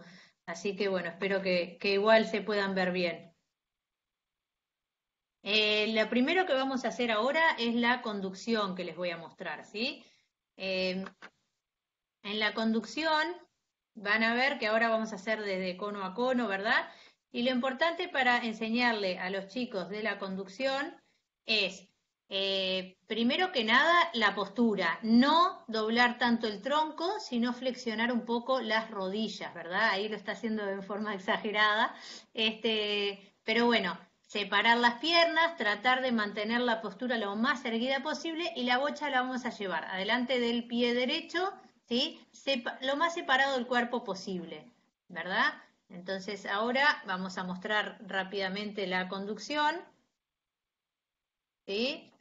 Ahora van a ver que a la vuelta ella la tiene medio al costado también, entonces tratemos de corregir y ponerlo un poquito más adelante dentro de lo posible siempre manteniendo la postura bastante erguida, lo más erguida posible, ¿sí? y esté flexionando las rodillas. Un error que muchas veces nos pasa, ¿sí? es que cuando van en conducción se tuercen para la izquierda. Nos pasa muchísimas veces eso cuando están empezando y empiezan con la conducción. ¿Qué es lo que tenemos que tratar de hacer? Es decirles que saquen el codo izquierdo, ven ahí que ya lo está mostrando, que lo lleven, adelanten un poquito más eh, al, codo izquierdo, cosa de que eso mismo los va a corregir la dirección. Sacan el codo y ahí es como que se enderezan. ¿sí? Entonces, en la conducción, asegurarnos que si se están torciendo, hacerlos este, corregir con el codo izquierdo. ¿sí? ¿Ven que está sacadito bien para afuera? Eso eh, nos asegura de que vayan más derechitos. ¿Alguna pregunta por ahora? Esperen que vamos a cerrar este.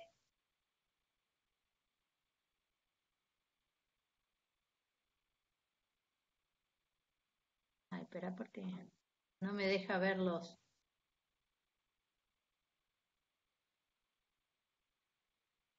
Me ¿Sabes lo que me pasa? Que tengo las barras adelante mío ah. y no puedo hacerle clic ahí. Ah, si no, no importa. Yo lo que pasa es que ya los tenía preparados. Los hago de vuelta de acá. Bueno. Lo tenía. ¿Cómo se puede hacer esto? Yo ya lo había este, preparado desde el minuto donde lo iba a poner, ¿verdad? Pero bueno. ¿Se puede cerrar esto acá? Ahí va, ahora sí. Bueno, ahora la técnica que vamos a hacer es la técnica del push. ¿Qué es lo que tenemos que hacer? Tratar de que las chicas estén con los pies separados, ¿sí? Eh, decir que si vamos a hacer un pase de push, no tenemos que estar de frente, sino de costado, ¿verdad? El que va a apuntar el, a dónde voy a tirar es mi, mi hombro izquierdo y para hacer esta técnica lo que hacemos es, el palo empieza pegadito a la bocha, manos separadas, la bocha empieza enfrente al pie izquierdo, ¿sí? Y lo que hacemos es arrastramos la bocha hasta el pie de adelante y cuando la bocha llega al pie de adelante les decimos que la suelten. Eh, importante también, una vez que lo empiezan a hacer, que acompañen con el movimiento de las piernas. Ven que ella se pone todo el peso del cuerpo en la pierna izquierda eh, perdón, en la pierna de atrás, en la pierna derecha, y después, a medida que va trasladando la bocha de un pie al otro, lo que hace es traslada el peso del cuerpo. Entonces, traslada junto con la bocha el peso del cuerpo para eh, despedir la bocha nuevamente. A ver dónde estoy, porque yo le voy a cortar. Está.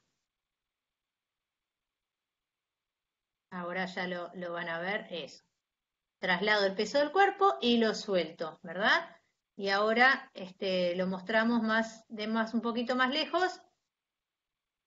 Que lo que ahí muestro es que en vez de ponerse de frente, lo que tenemos que hacer, como decíamos recién, es ponernos de costado si voy a hacerle el pase al cono, como es lo que va a hacer ella. ¿sí? Entonces se pone de costado, el que apunta a dónde voy a hacer el pase es mi hombro izquierdo, ¿sí? Y este, ahí está como está mostrando, y vamos a hacer el pase. Manos separadas, arrastro y hago el pase de push. Ven eh, que se ve muy bien el traslado del peso del cuerpo de un pie al otro. ¿Ah? Bueno, ahora paramos este. ¿Alguien tiene alguna duda con respecto a este gesto? Cosas a corregir, que el palo empiece pegadito a la bocha siempre, ¿verdad?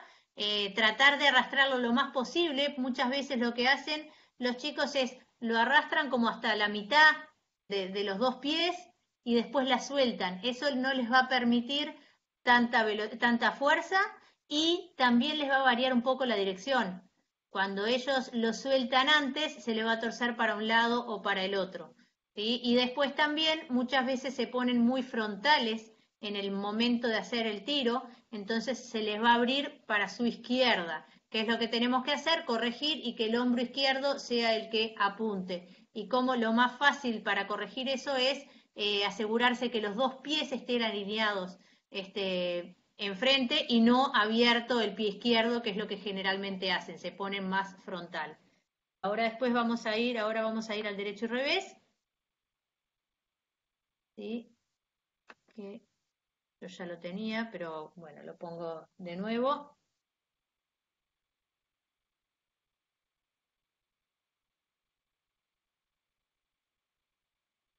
Bueno, para hacer el derecho revés empezamos chiquito, tratando de mantener la bocha lo más junto al palo posible, de no separar el palo de la bocha.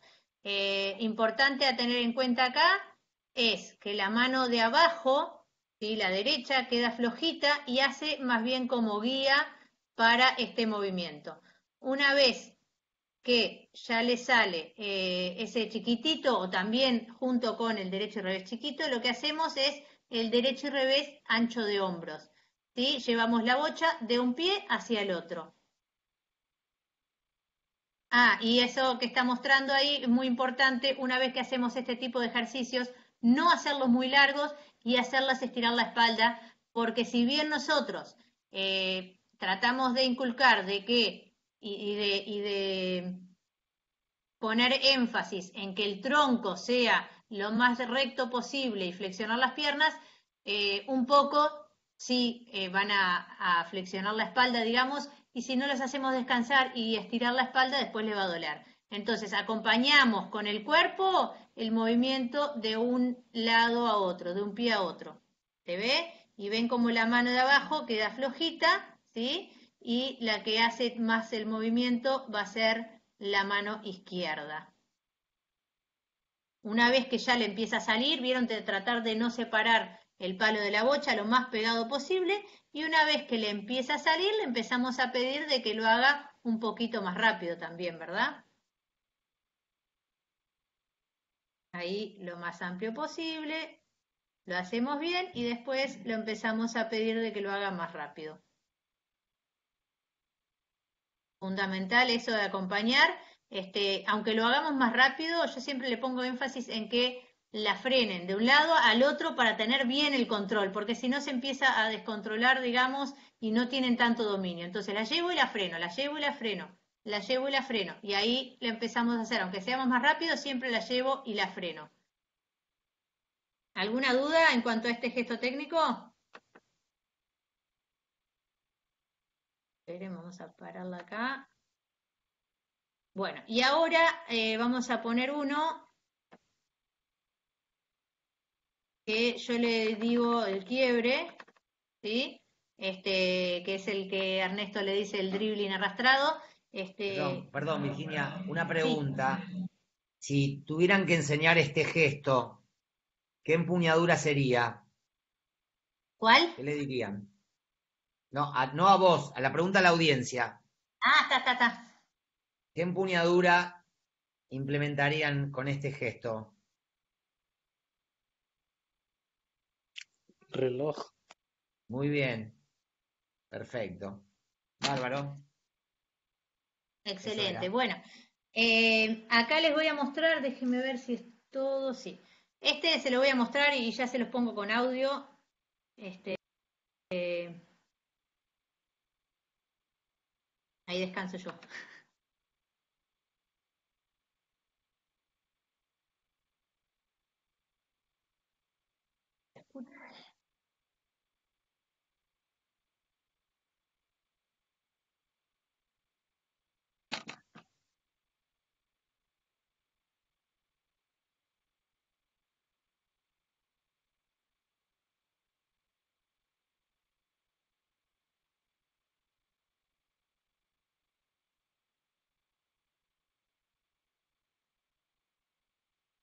No se escucha el audio, no sé si los otros escuchan.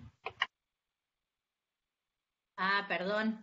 Vamos a ver de subir acá. Lo ponemos de vuelta. Gracias por avisar.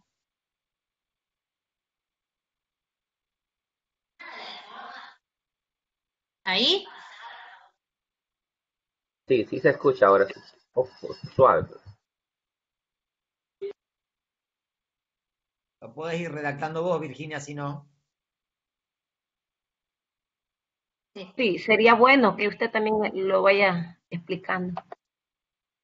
Bueno, entonces le bajo el volumen.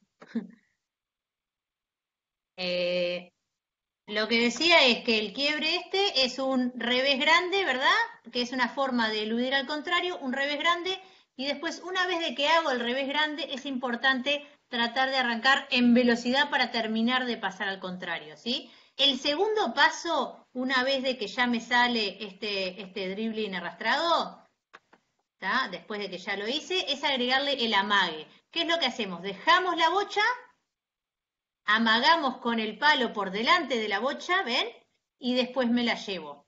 Eh, si podemos agregarle el movimiento del cuerpo que ven ahí, mucho mejor. ¿Ven? Que yo me voy con el cuerpo y el palo, pero la bocha queda. ¿Para qué me sirve esto? Para amagarle al contrario que voy a ir en una dirección, pero después, o sea, que lo llevo a que se vaya a defender más para ese lado y después me voy a escapar por el otro lado. ¿Alguna Una duda? pregunta, eh, ¿qué les parece a ustedes? ¿Qué empuñaduras está empleando en esa secuencia que mostró Virginia?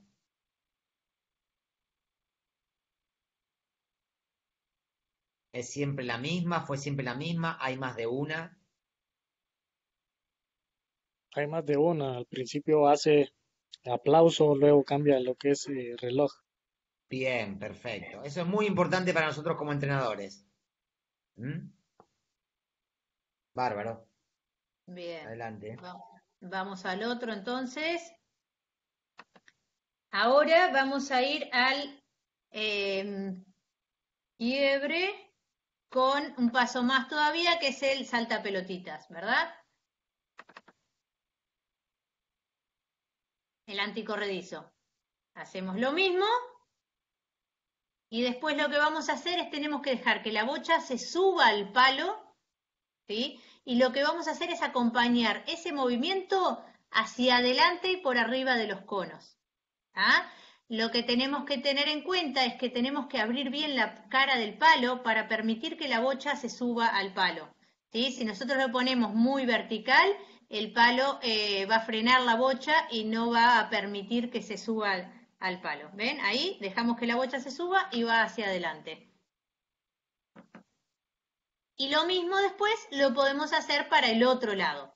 Lo que tenemos que tener en cuenta si lo hacemos para el otro lado es que de este lado vamos a tener el derecho del palo de los contrarios, ¿ven? Así como, como estoy mostrando. Entonces lo que tenemos que as- asegurarnos es hacerlo bien amplio para poder pasarles por arriba del palo. Entonces hacemos lo mismo, dejamos que la bocha se suba, ¿sí? Y lo vamos a levantar de revés. No podemos frenar antes, ¿sí? De- ah, ahí que el palo no quede muy vertical para que no se frene y tampoco frenarnos antes porque si no, no pasamos por el contrario, si lo dejamos ahí entre medio de los pies, ¿verdad? Porque va a estar con el derecho del palo. Entonces dejamos bien amplio allá Y para asegurarnos de que el palo no frene la bocha, tenemos que bajar la mano izquierda más cerca del piso. ¿Se entiende? Una vez que hacemos la rampita para que la bocha se suba, ahí acompañamos el movimiento hacia adelante.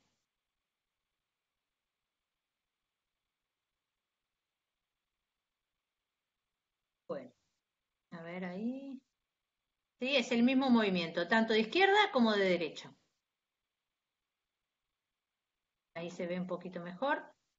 Dejamos que la bocha se suba y vamos hacia adelante.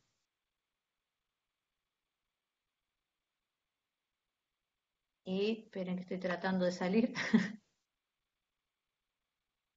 Ahí está. Y por último, vamos a estar mostrando las dos guadañas, eh, perdón, o barrida de revés. Que tenemos acá, que vamos a hacer desde el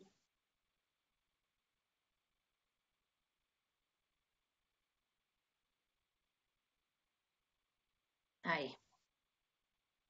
¿Sí? Para poder hacer el pase de guadaña o de barrida de revés, en vez de ponernos de frente como nos pondríamos con el push, nos tenemos que dar vuelta. Y ahora el hombro que va a apuntar a donde, a donde yo voy a hacer el pase no va a ser el hombro izquierdo, sino va a ser el hombro derecho, ¿verdad? Entonces, le vamos a pegar con el canto, ahí donde mostró eh, esta alumna, con el canto, o sea que, como diría eh, Ernesto, tenemos la toma sartén, ¿verdad? Con el palo vamos a apuntar y con ese hombro, el hombro derecho, vamos a mostrar a dónde va a ser el pase. ¿Cómo nos tenemos que hacer? Nos tenemos que separar de la bocha, eh, dos pasos más o menos, un poquito más que lo que ella separa, si ahora van a ver que ella se corrige un poquito y se va un poquito más para atrás, ¿sí? Y el pas, el pie que da el paso es el derecho y vamos a marcar una L con la toma sartén, una L entre la bocha y el palo donde comienza. ¿Ven? Entonces, le, recorre el palo arrastrado y le pega. ¿Qué es lo que pasó ahí? Eh, la pierna izquierda de ella, que es la de atrás, no se flexionó tanto. Entonces, lo que nos tenemos que asegurar es que la pierna de atrás, ¿sí? ahora ella se va a aprontar, la pierna de atrás flexione bastante para no pegarle con el lado curvo, porque muchas veces le pegamos con el lado curvo, ¿sí? Por no flexionar la pierna. Entonces, si flexionamos bien, le vamos a estar pegando con eh, el canto del palo, que es con donde le tenemos que pegar, ¿verdad? Ya lo voy a mostrar.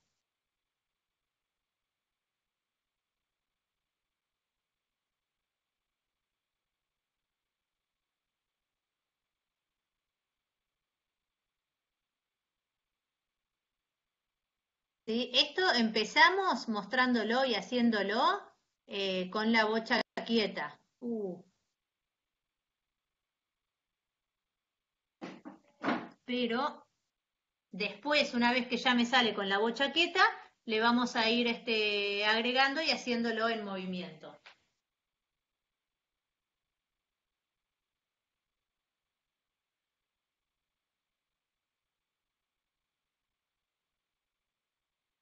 Esperen un segundo que estoy enchufando porque me estoy quedando sin batería.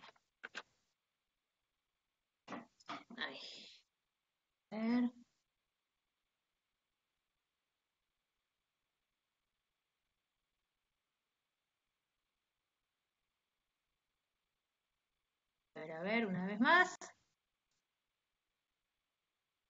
Ahora lo que vamos a hacer es le vamos a agregar el movimiento previo. Lo importante de cuando le agregamos el movimiento previo es el cambio en la toma. ¿sí? Estamos agarrando el palo de una manera y ahora van a ver que ella cuando, no sé si lo llegaron a ver ahí, pero después en el otro se ve bien, cuando ella se tira la bocha hacia adelante, lo que va a hacer es cambiar la empuñadura a la toma sartén.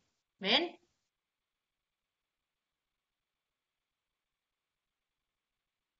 Ahora vamos a adelantar un poquito. Y acá lo vemos eh, aplicado también de repente a un otro juego. Entonces, acá le vamos agregando porque también lo que podemos hacer es eh, esto nos sirve como pase o también nos puede llegar a servir como tiro al arco, ¿verdad? Este, cuando no tenemos mucho espacio como para girar, entonces lo podemos usar como un tiro al arco.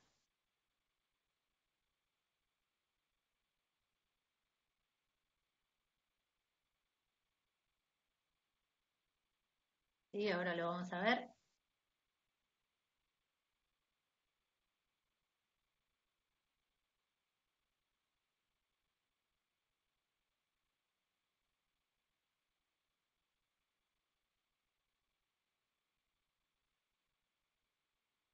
Y acá lo que quise hacer, pues, para finalizar, es como este, juntar los distintos gestos técnicos que estuvimos viendo, ¿verdad?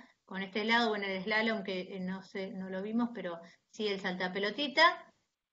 Ahí abrí demasiado la cara del palo y me salió levantada, que no es para el pase, pero sí sirve para los tiros al arco, ¿verdad? Y ahora del otro lado hacemos el quiebre, quiebre con saltapelotita y terminamos con el tiro de guadaña. Como, como ven, este tipo de ejercicio se puede hacer eh, tanto a nivel principiantes, digamos, como para más grandes, ¿verdad? Lo importante es tratar de trabajar bien la técnica y que nos sirva para todas las edades.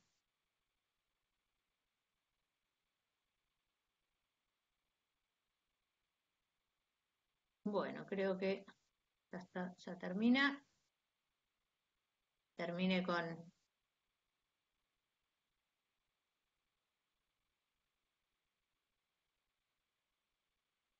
Ahí va, terminamos con ella mejor.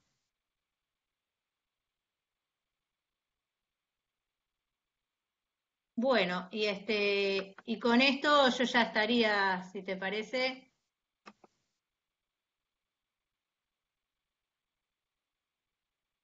el push, ahí lo tenías. Sí. Bien.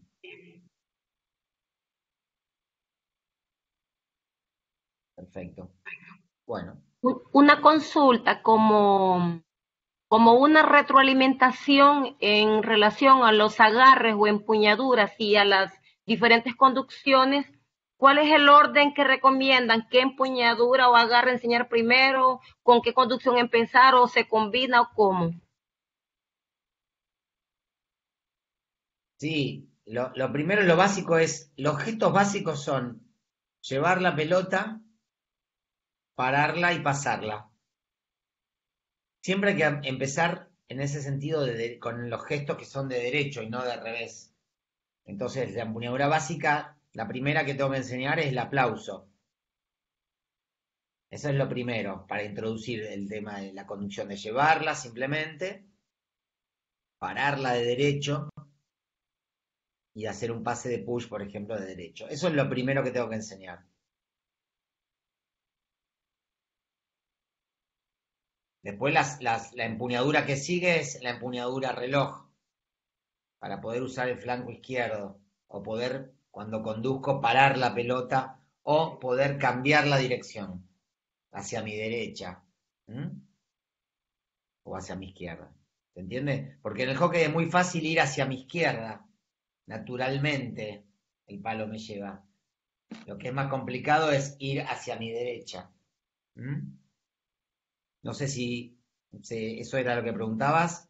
Sí, sí. Bien. Bueno. Virginia, sigo yo entonces con los gestos sin bocha. Sí, dale. Bueno.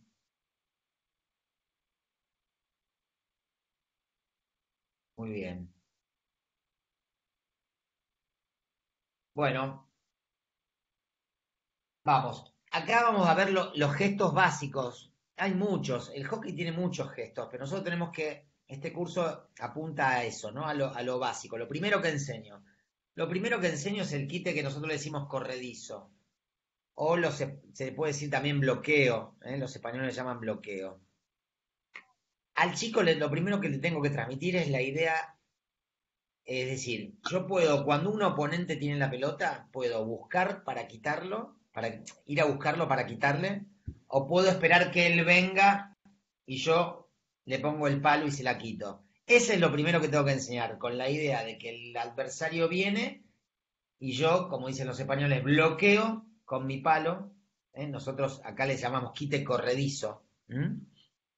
Entonces, es cortarle la trayectoria a un jugador que viene con bocha. Las cosas importantes acá que nosotros vemos puede ser con una mano o con dos. ¿M? Ustedes lo ven, con una mano, donde tengo más alcance, y con dos. En cualquiera de las dos situaciones, el centro de gravedad está bajo, la- las rodillas bien flexionadas, ¿sí? La empuñadura es aplauso, y el brazo bien estirado, ¿eh? bien por delante. ¿Está? Y lo que justamente es la idea de cortar el avance del rival. Y la posición del palo ustedes la ven bastante horizontal en el campo. La aclaración de una mano y dos, ¿sí? Si se puede con dos, uno tiene más fuerza, pero a veces tiene que efectuar el quite con una, con la izquierda, porque tiene más alcance. Lo que sí, cuando uno lo hace con una mano, apenas entra en contacto la bocha con nuestro palo, tiene que agregarle la segunda mano, que es la mano derecha, para poder disputar la pelota y planear la próxima acción. ¿Está? Bien, ahora vemos algún ejemplo. ¿eh? La del equipo blanco, vemos quitando. Bien el palo, bien la postura, bien abajo, con el palo horizontal. Acá con dos manos, en la primera vimos una mano. ¿Se, ¿se puede ver el video? Sí. Bien. Sí, sí, sí, sí se ve, claro. Bueno, ahí ven la postura, las manos, la empuñadura dijimos que era aplauso. ¿Eh? Con mucha firmeza con dos para la próxima acción. ¿Estamos? Bien. ¿Preguntas sobre esto? Es el No, primer que- quite que nosotros enseñamos. Voy a acotar quite algo que, es fu- que es fundamental eh, en ese quito, en ese quite bajar el centro de gravedad, ¿verdad? Sí. Bien. Perfecto. Entonces acá eh, es decir, una, un- una cosa muy sencilla, porque nosotros tenemos que hacer cosas muy sencillas al principio.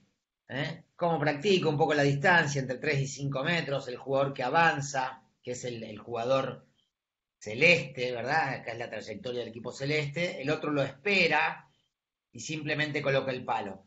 Es importante ir graduando la velocidad del jugador que ataca celeste, que al principio vaya más lento, ¿sí?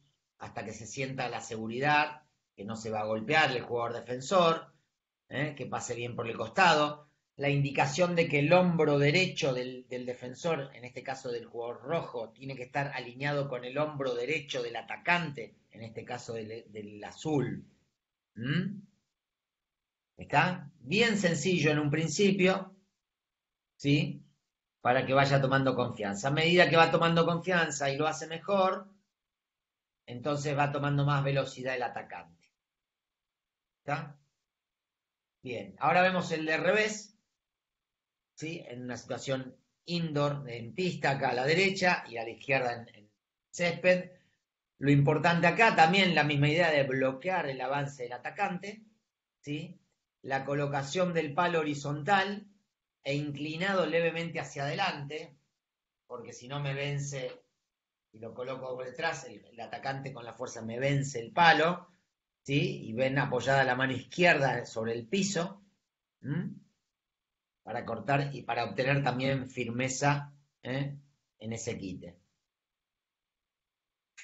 Bien, el jab, que es, es un quite que en realidad puede ser utilizado como dos cosas, como un, como un amague, como un elemento de presión, o como quite en sí mismo.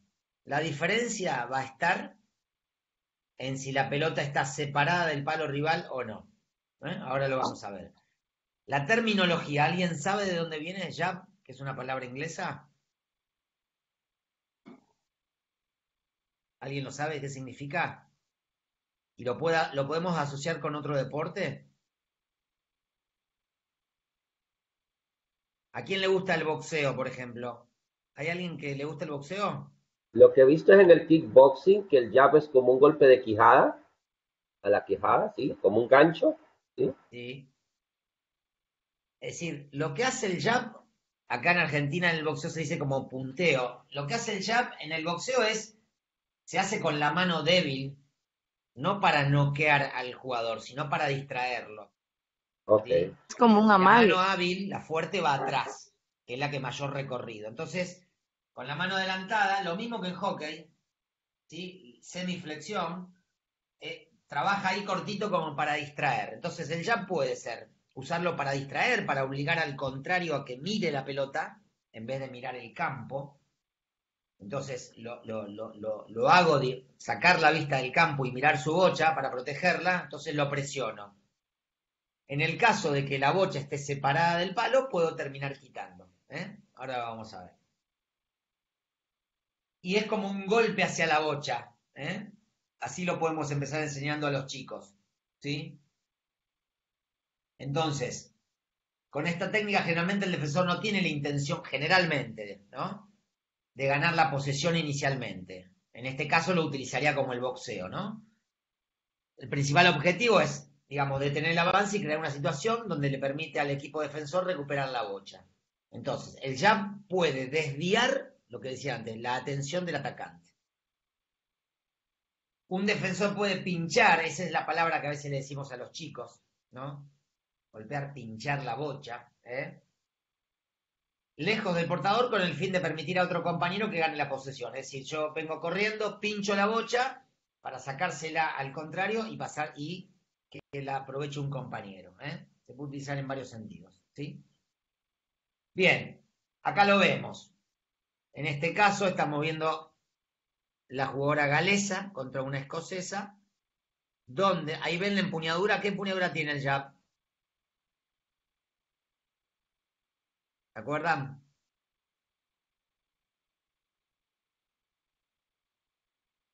La sartén. Sartén, la B corta sobre la parte plana. ¿eh? Entonces, la jugada anterior no la tenemos, pero podemos intuir que se le separó el palo, la bocha del palo y puede efectuar el jab, en este caso, como un quite. Pero en este caso, ¿qué es lo que vemos en la foto? A ver, ¿quién se anima a decir lo que ve? Tratar de no leer, mirar la foto.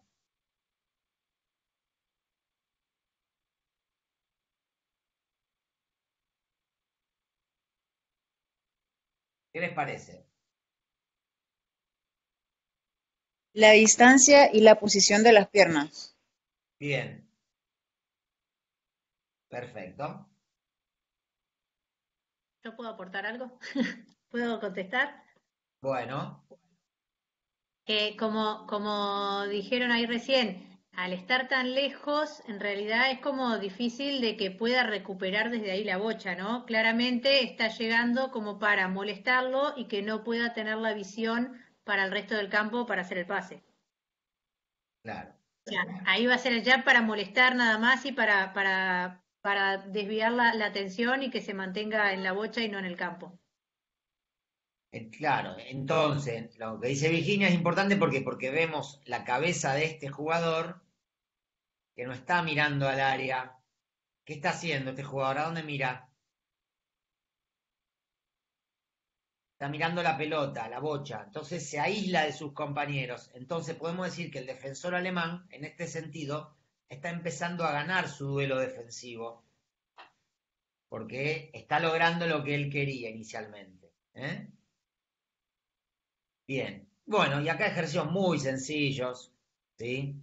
En, estos espacios tomamos las yardas casi como un metro, ¿no? 0,92 centímetros. Entonces, que tengan que pasar e ingresar, a, eh, eh, digamos, pasar esta línea ¿eh? inicialmente, ¿sí? Después puedo empezar a, poner puntajes y pongo dos arquitos para que el defensor, en este caso que es el- la X, lleve a su, de- a su atacante hacia qué lado. A ver, ¿qué se acuerdan de ayer?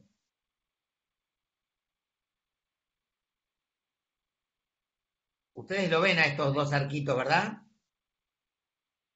Sí. Dice tres puntos y un punto. ¿Por qué les parece? ¿Qué es lo que ven de este ejercicio? ¿Y por qué les parece que se asigna esos puntajes. El miércoles pasado lo hice. Mm. ¿Se acuerdan? Lado fuerte, lado débil de ayer. ¿Qué podemos decir sobre eso? Qué callados que están hoy.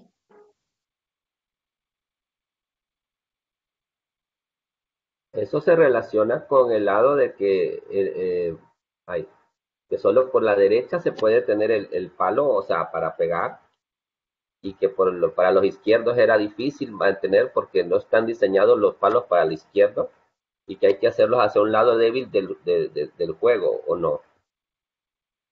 Bueno, a ver, está bien lo que decís en el sentido que para, independientemente si soy zurdo o diestro, el- los palos son iguales, eso es correcto. Pero para cualquiera de los dos, como el palo se toma así, este es mi lado fuerte y este es mi lado débil. Entonces, si yo soy el defensor, si soy la X, vamos a hacerlo acá. Olvídense de esto. Vamos acá. Si yo soy el defensor y yo voy derecho a este jugador, este jugador, si me pasa por acá, este es mi lado débil, porque voy a defender con mi revés. Y este es mi lado fuerte.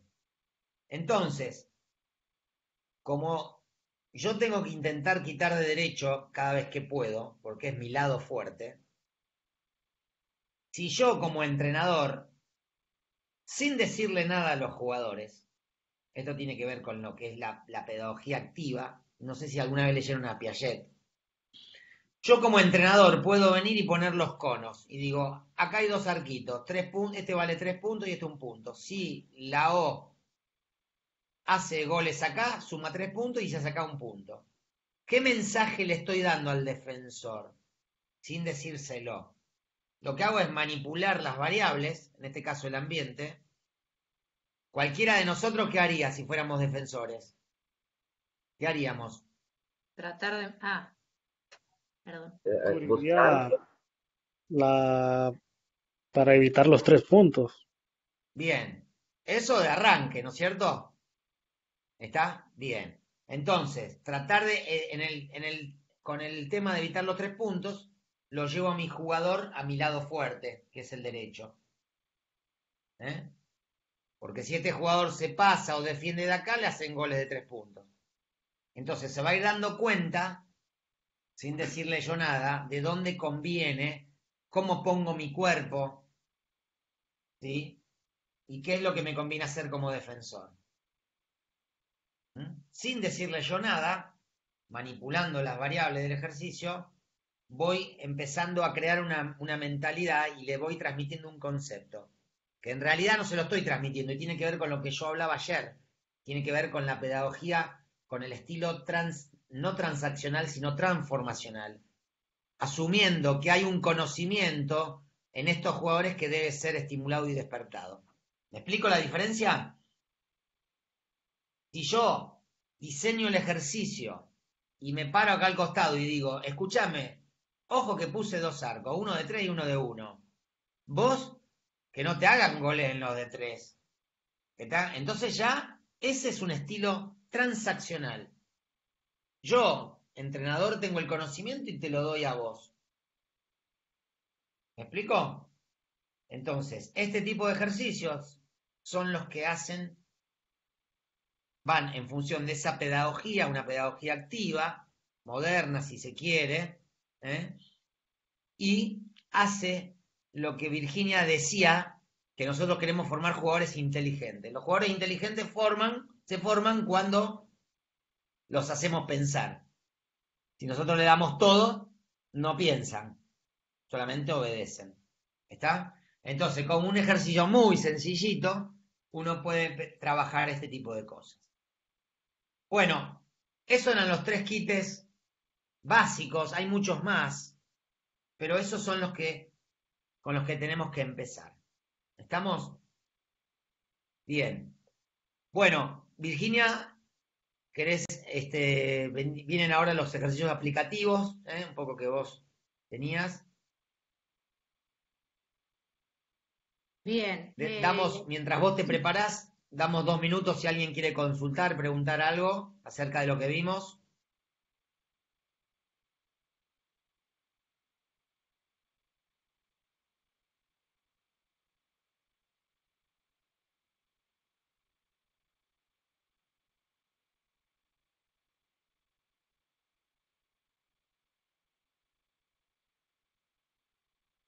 agregar algo, preguntar, dudas.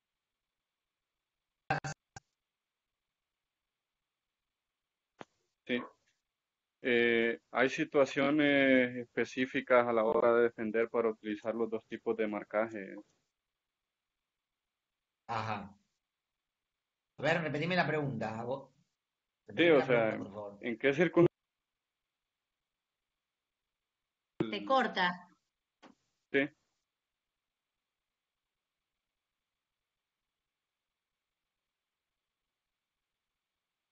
Yo no llegué a escuchar la pregunta, no sé tú. Eh, No, no se escuchó. ¿En qué circunstancias se, se usa el yo y en cuáles usamos el otro, el, el de barrido y el de revés? Claro. Lo que, lo que decíamos antes es que cuando viene un jugador hacia mí, hacia el arco, ¿sí?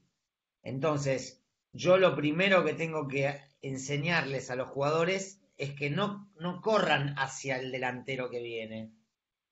El- lo primero es bloquear la trayectoria, ¿se entiende?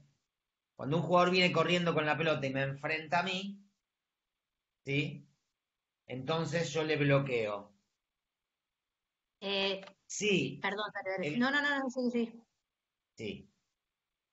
Si el jugador viene y se le separa la bocha del palo y se va, por ejemplo, va a depender también de la velocidad. A una velocidad alta del juego, si viene un jugador muy rápido, yo no puedo estar parado y bloquear este, el, delantero, porque ahí me podría pasar muy fácilmente. Entonces, ahí tenemos que hacer un gesto que son más complejos, que se llama un quite acompañado, que es lo primero que tengo que hacer es tomar la velocidad del delantero, apuntar mis pies en dirección a la carrera y después pensar en efectuar un quite corredizo. Pero eso ya no es básico, por eso no lo dimos ahora.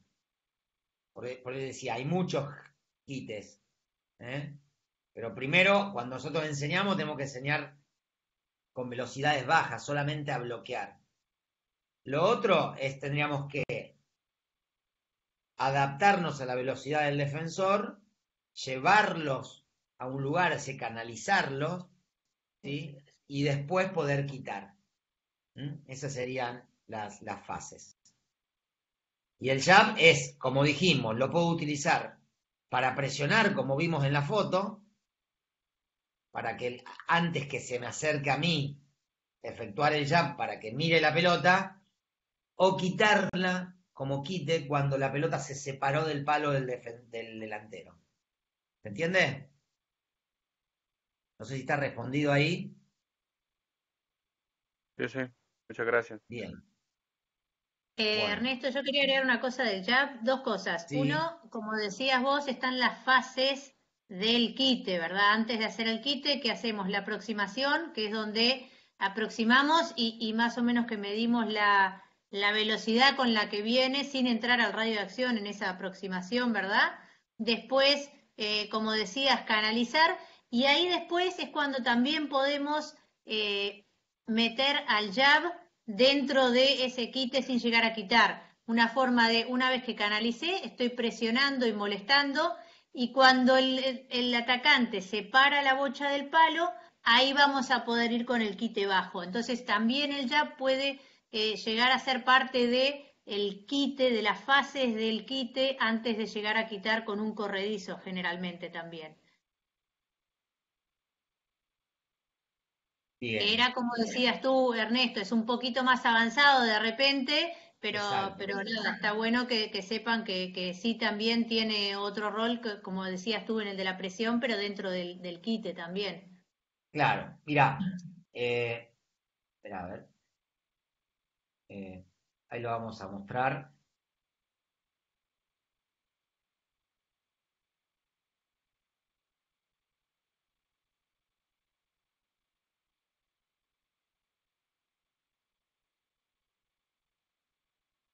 Bueno. ¿Ahí se ve? ¿Se ve? ¿La placa que dice canalización? ¿Eh? ¿Están viendo? ¿Se ve, Virginia, la placa? Sí, sí. Sí. Ah, se ve, se ve la, la pantalla grande, digamos, ¿no? Gestos. No se ve la ¿Qué di- canalización en sí ahora. Estoy Ahí que viendo se ve, lo- canalización dice. Las carpetas, ¿Eh? uno versus uno, las carpetas que tenés. Ahí va. Ahí que se ve. Por ahora ¿La se placa? sigue viendo las carpetas. Las carpetas se ven ahí. A ver, A ver, ahí la cerraste. ahí. Ahora sí. Ya, ahora sí. Bueno. Bueno. Entonces, más avanzado, ¿sí? Nosotros tenemos que ir viendo lo que se llama canalización, es decir, para quitarle a un jugador que viene en velocidad, no se le puede quitar en el lugar, porque yo es como que me estoy jugando al todo o nada. Entonces tengo que llevarlo a una zona del campo conveniente, generalmente hacia las líneas, porque las líneas juegan a favor mío. O sea, hay que reducir el espacio y el tiempo. O se lo puedo llevar a un jugador, a un compañero, para que le quite lo que sería un doblaje. Pero son cosas más avanzadas, por eso no la estamos tratando ahora. Pero bueno, ya que lo preguntás, lo vemos. ¿eh? Entonces, la idea de la canalización es que el defensor, sin tener la pelota, pueda tomar la iniciativa, dictándole hacia dónde y el comportamiento que tiene que tener el atacante. ¿Está? Bien. Entonces, acá vemos, en este caso está canalizando, es una jugadora que juega del lado izquierdo y está canalizando hacia afuera, hacia la banda izquierda. ¿eh? Entonces pone su cuerpo entre el arco y la pelota y el delantero y lo lleva. Le está diciendo por dónde quiere que vaya. Esto es más, son detalles, pero acá vamos al ejercicio. Entonces, lo que, lo que vemos acá es que el jugador rojo se ubica entre el, entre el atacante y el, el arco de tres puntos, por ejemplo, para que no venga para acá, y lo que hace es decirle, como viene, ¿ven la línea curva que toma? ¿El rojo se ve eso? Sí, ¿Se ven? se ve. ¿Lo ven o no? ¿Cómo corre? En la manera que corre el rojo, le está dictando el comportamiento al celeste. Porque si el rojo viniera así, viniera así, por ejemplo, ¿qué pasaría con el celeste?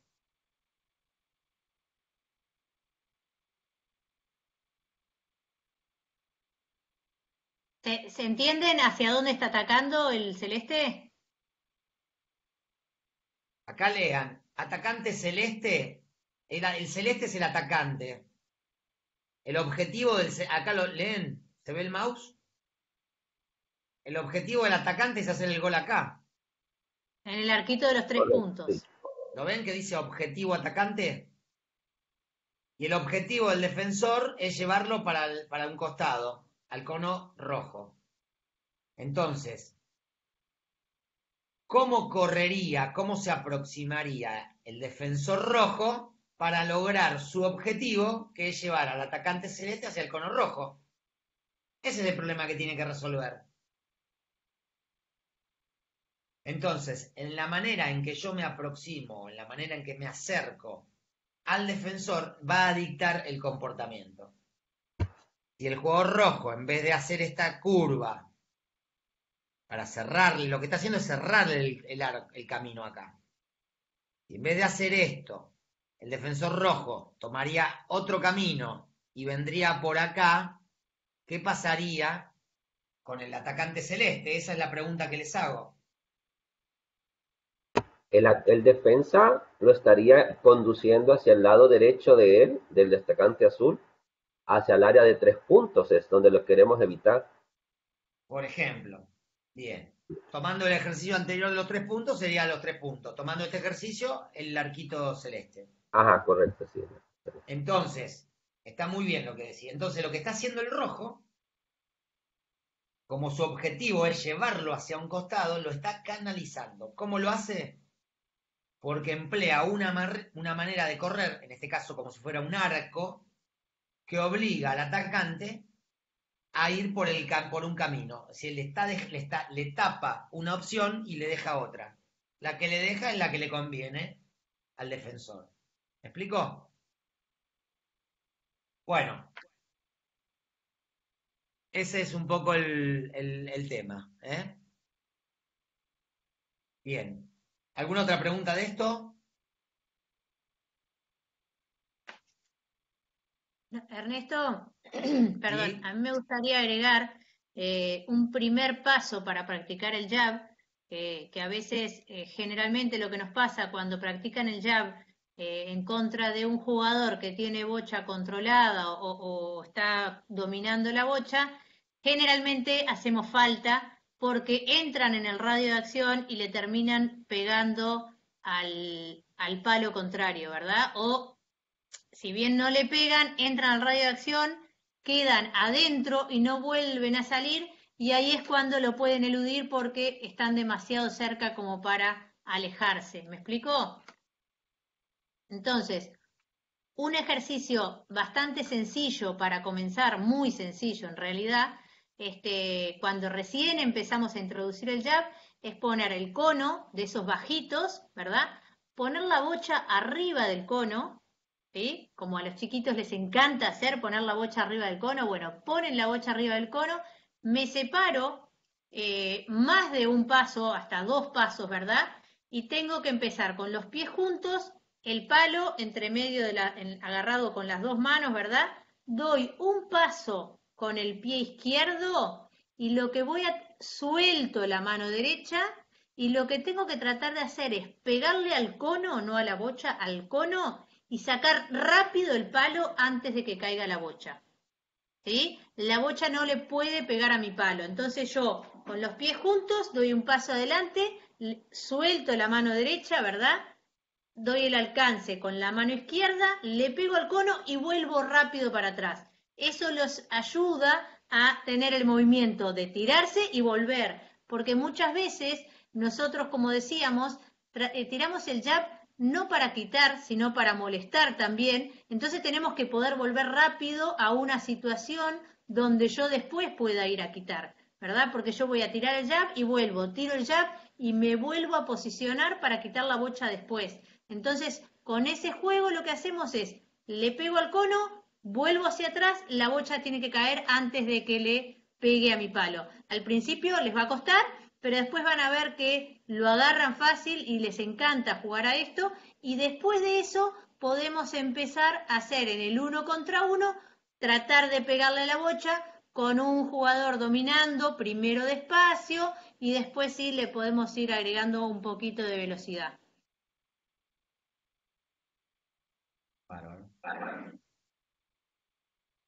Ernesto. Sí.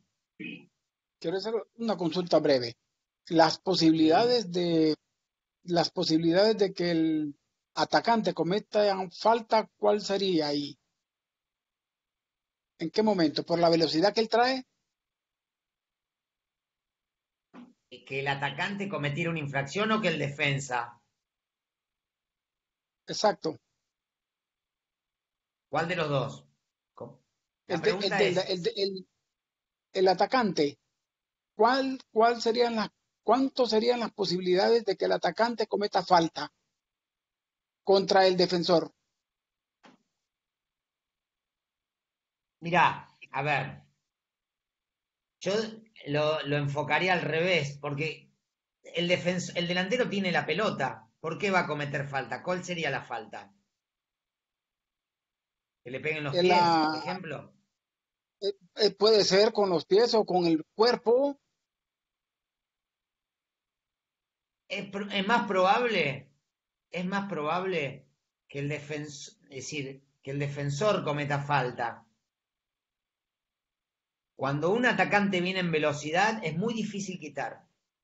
Por eso uno de los objetivos tiene que ser bajar la velocidad. Es, es decir, en un espacio amplio, por ejemplo, y un atacante a mucha velocidad, es realmente muy difícil quitar. Por eso se tratan de reducir los espacios, por eso, digamos, se trata de, bajarle la velocidad. ¿eh? Es otra de las cosas que también se, se trata de hacer.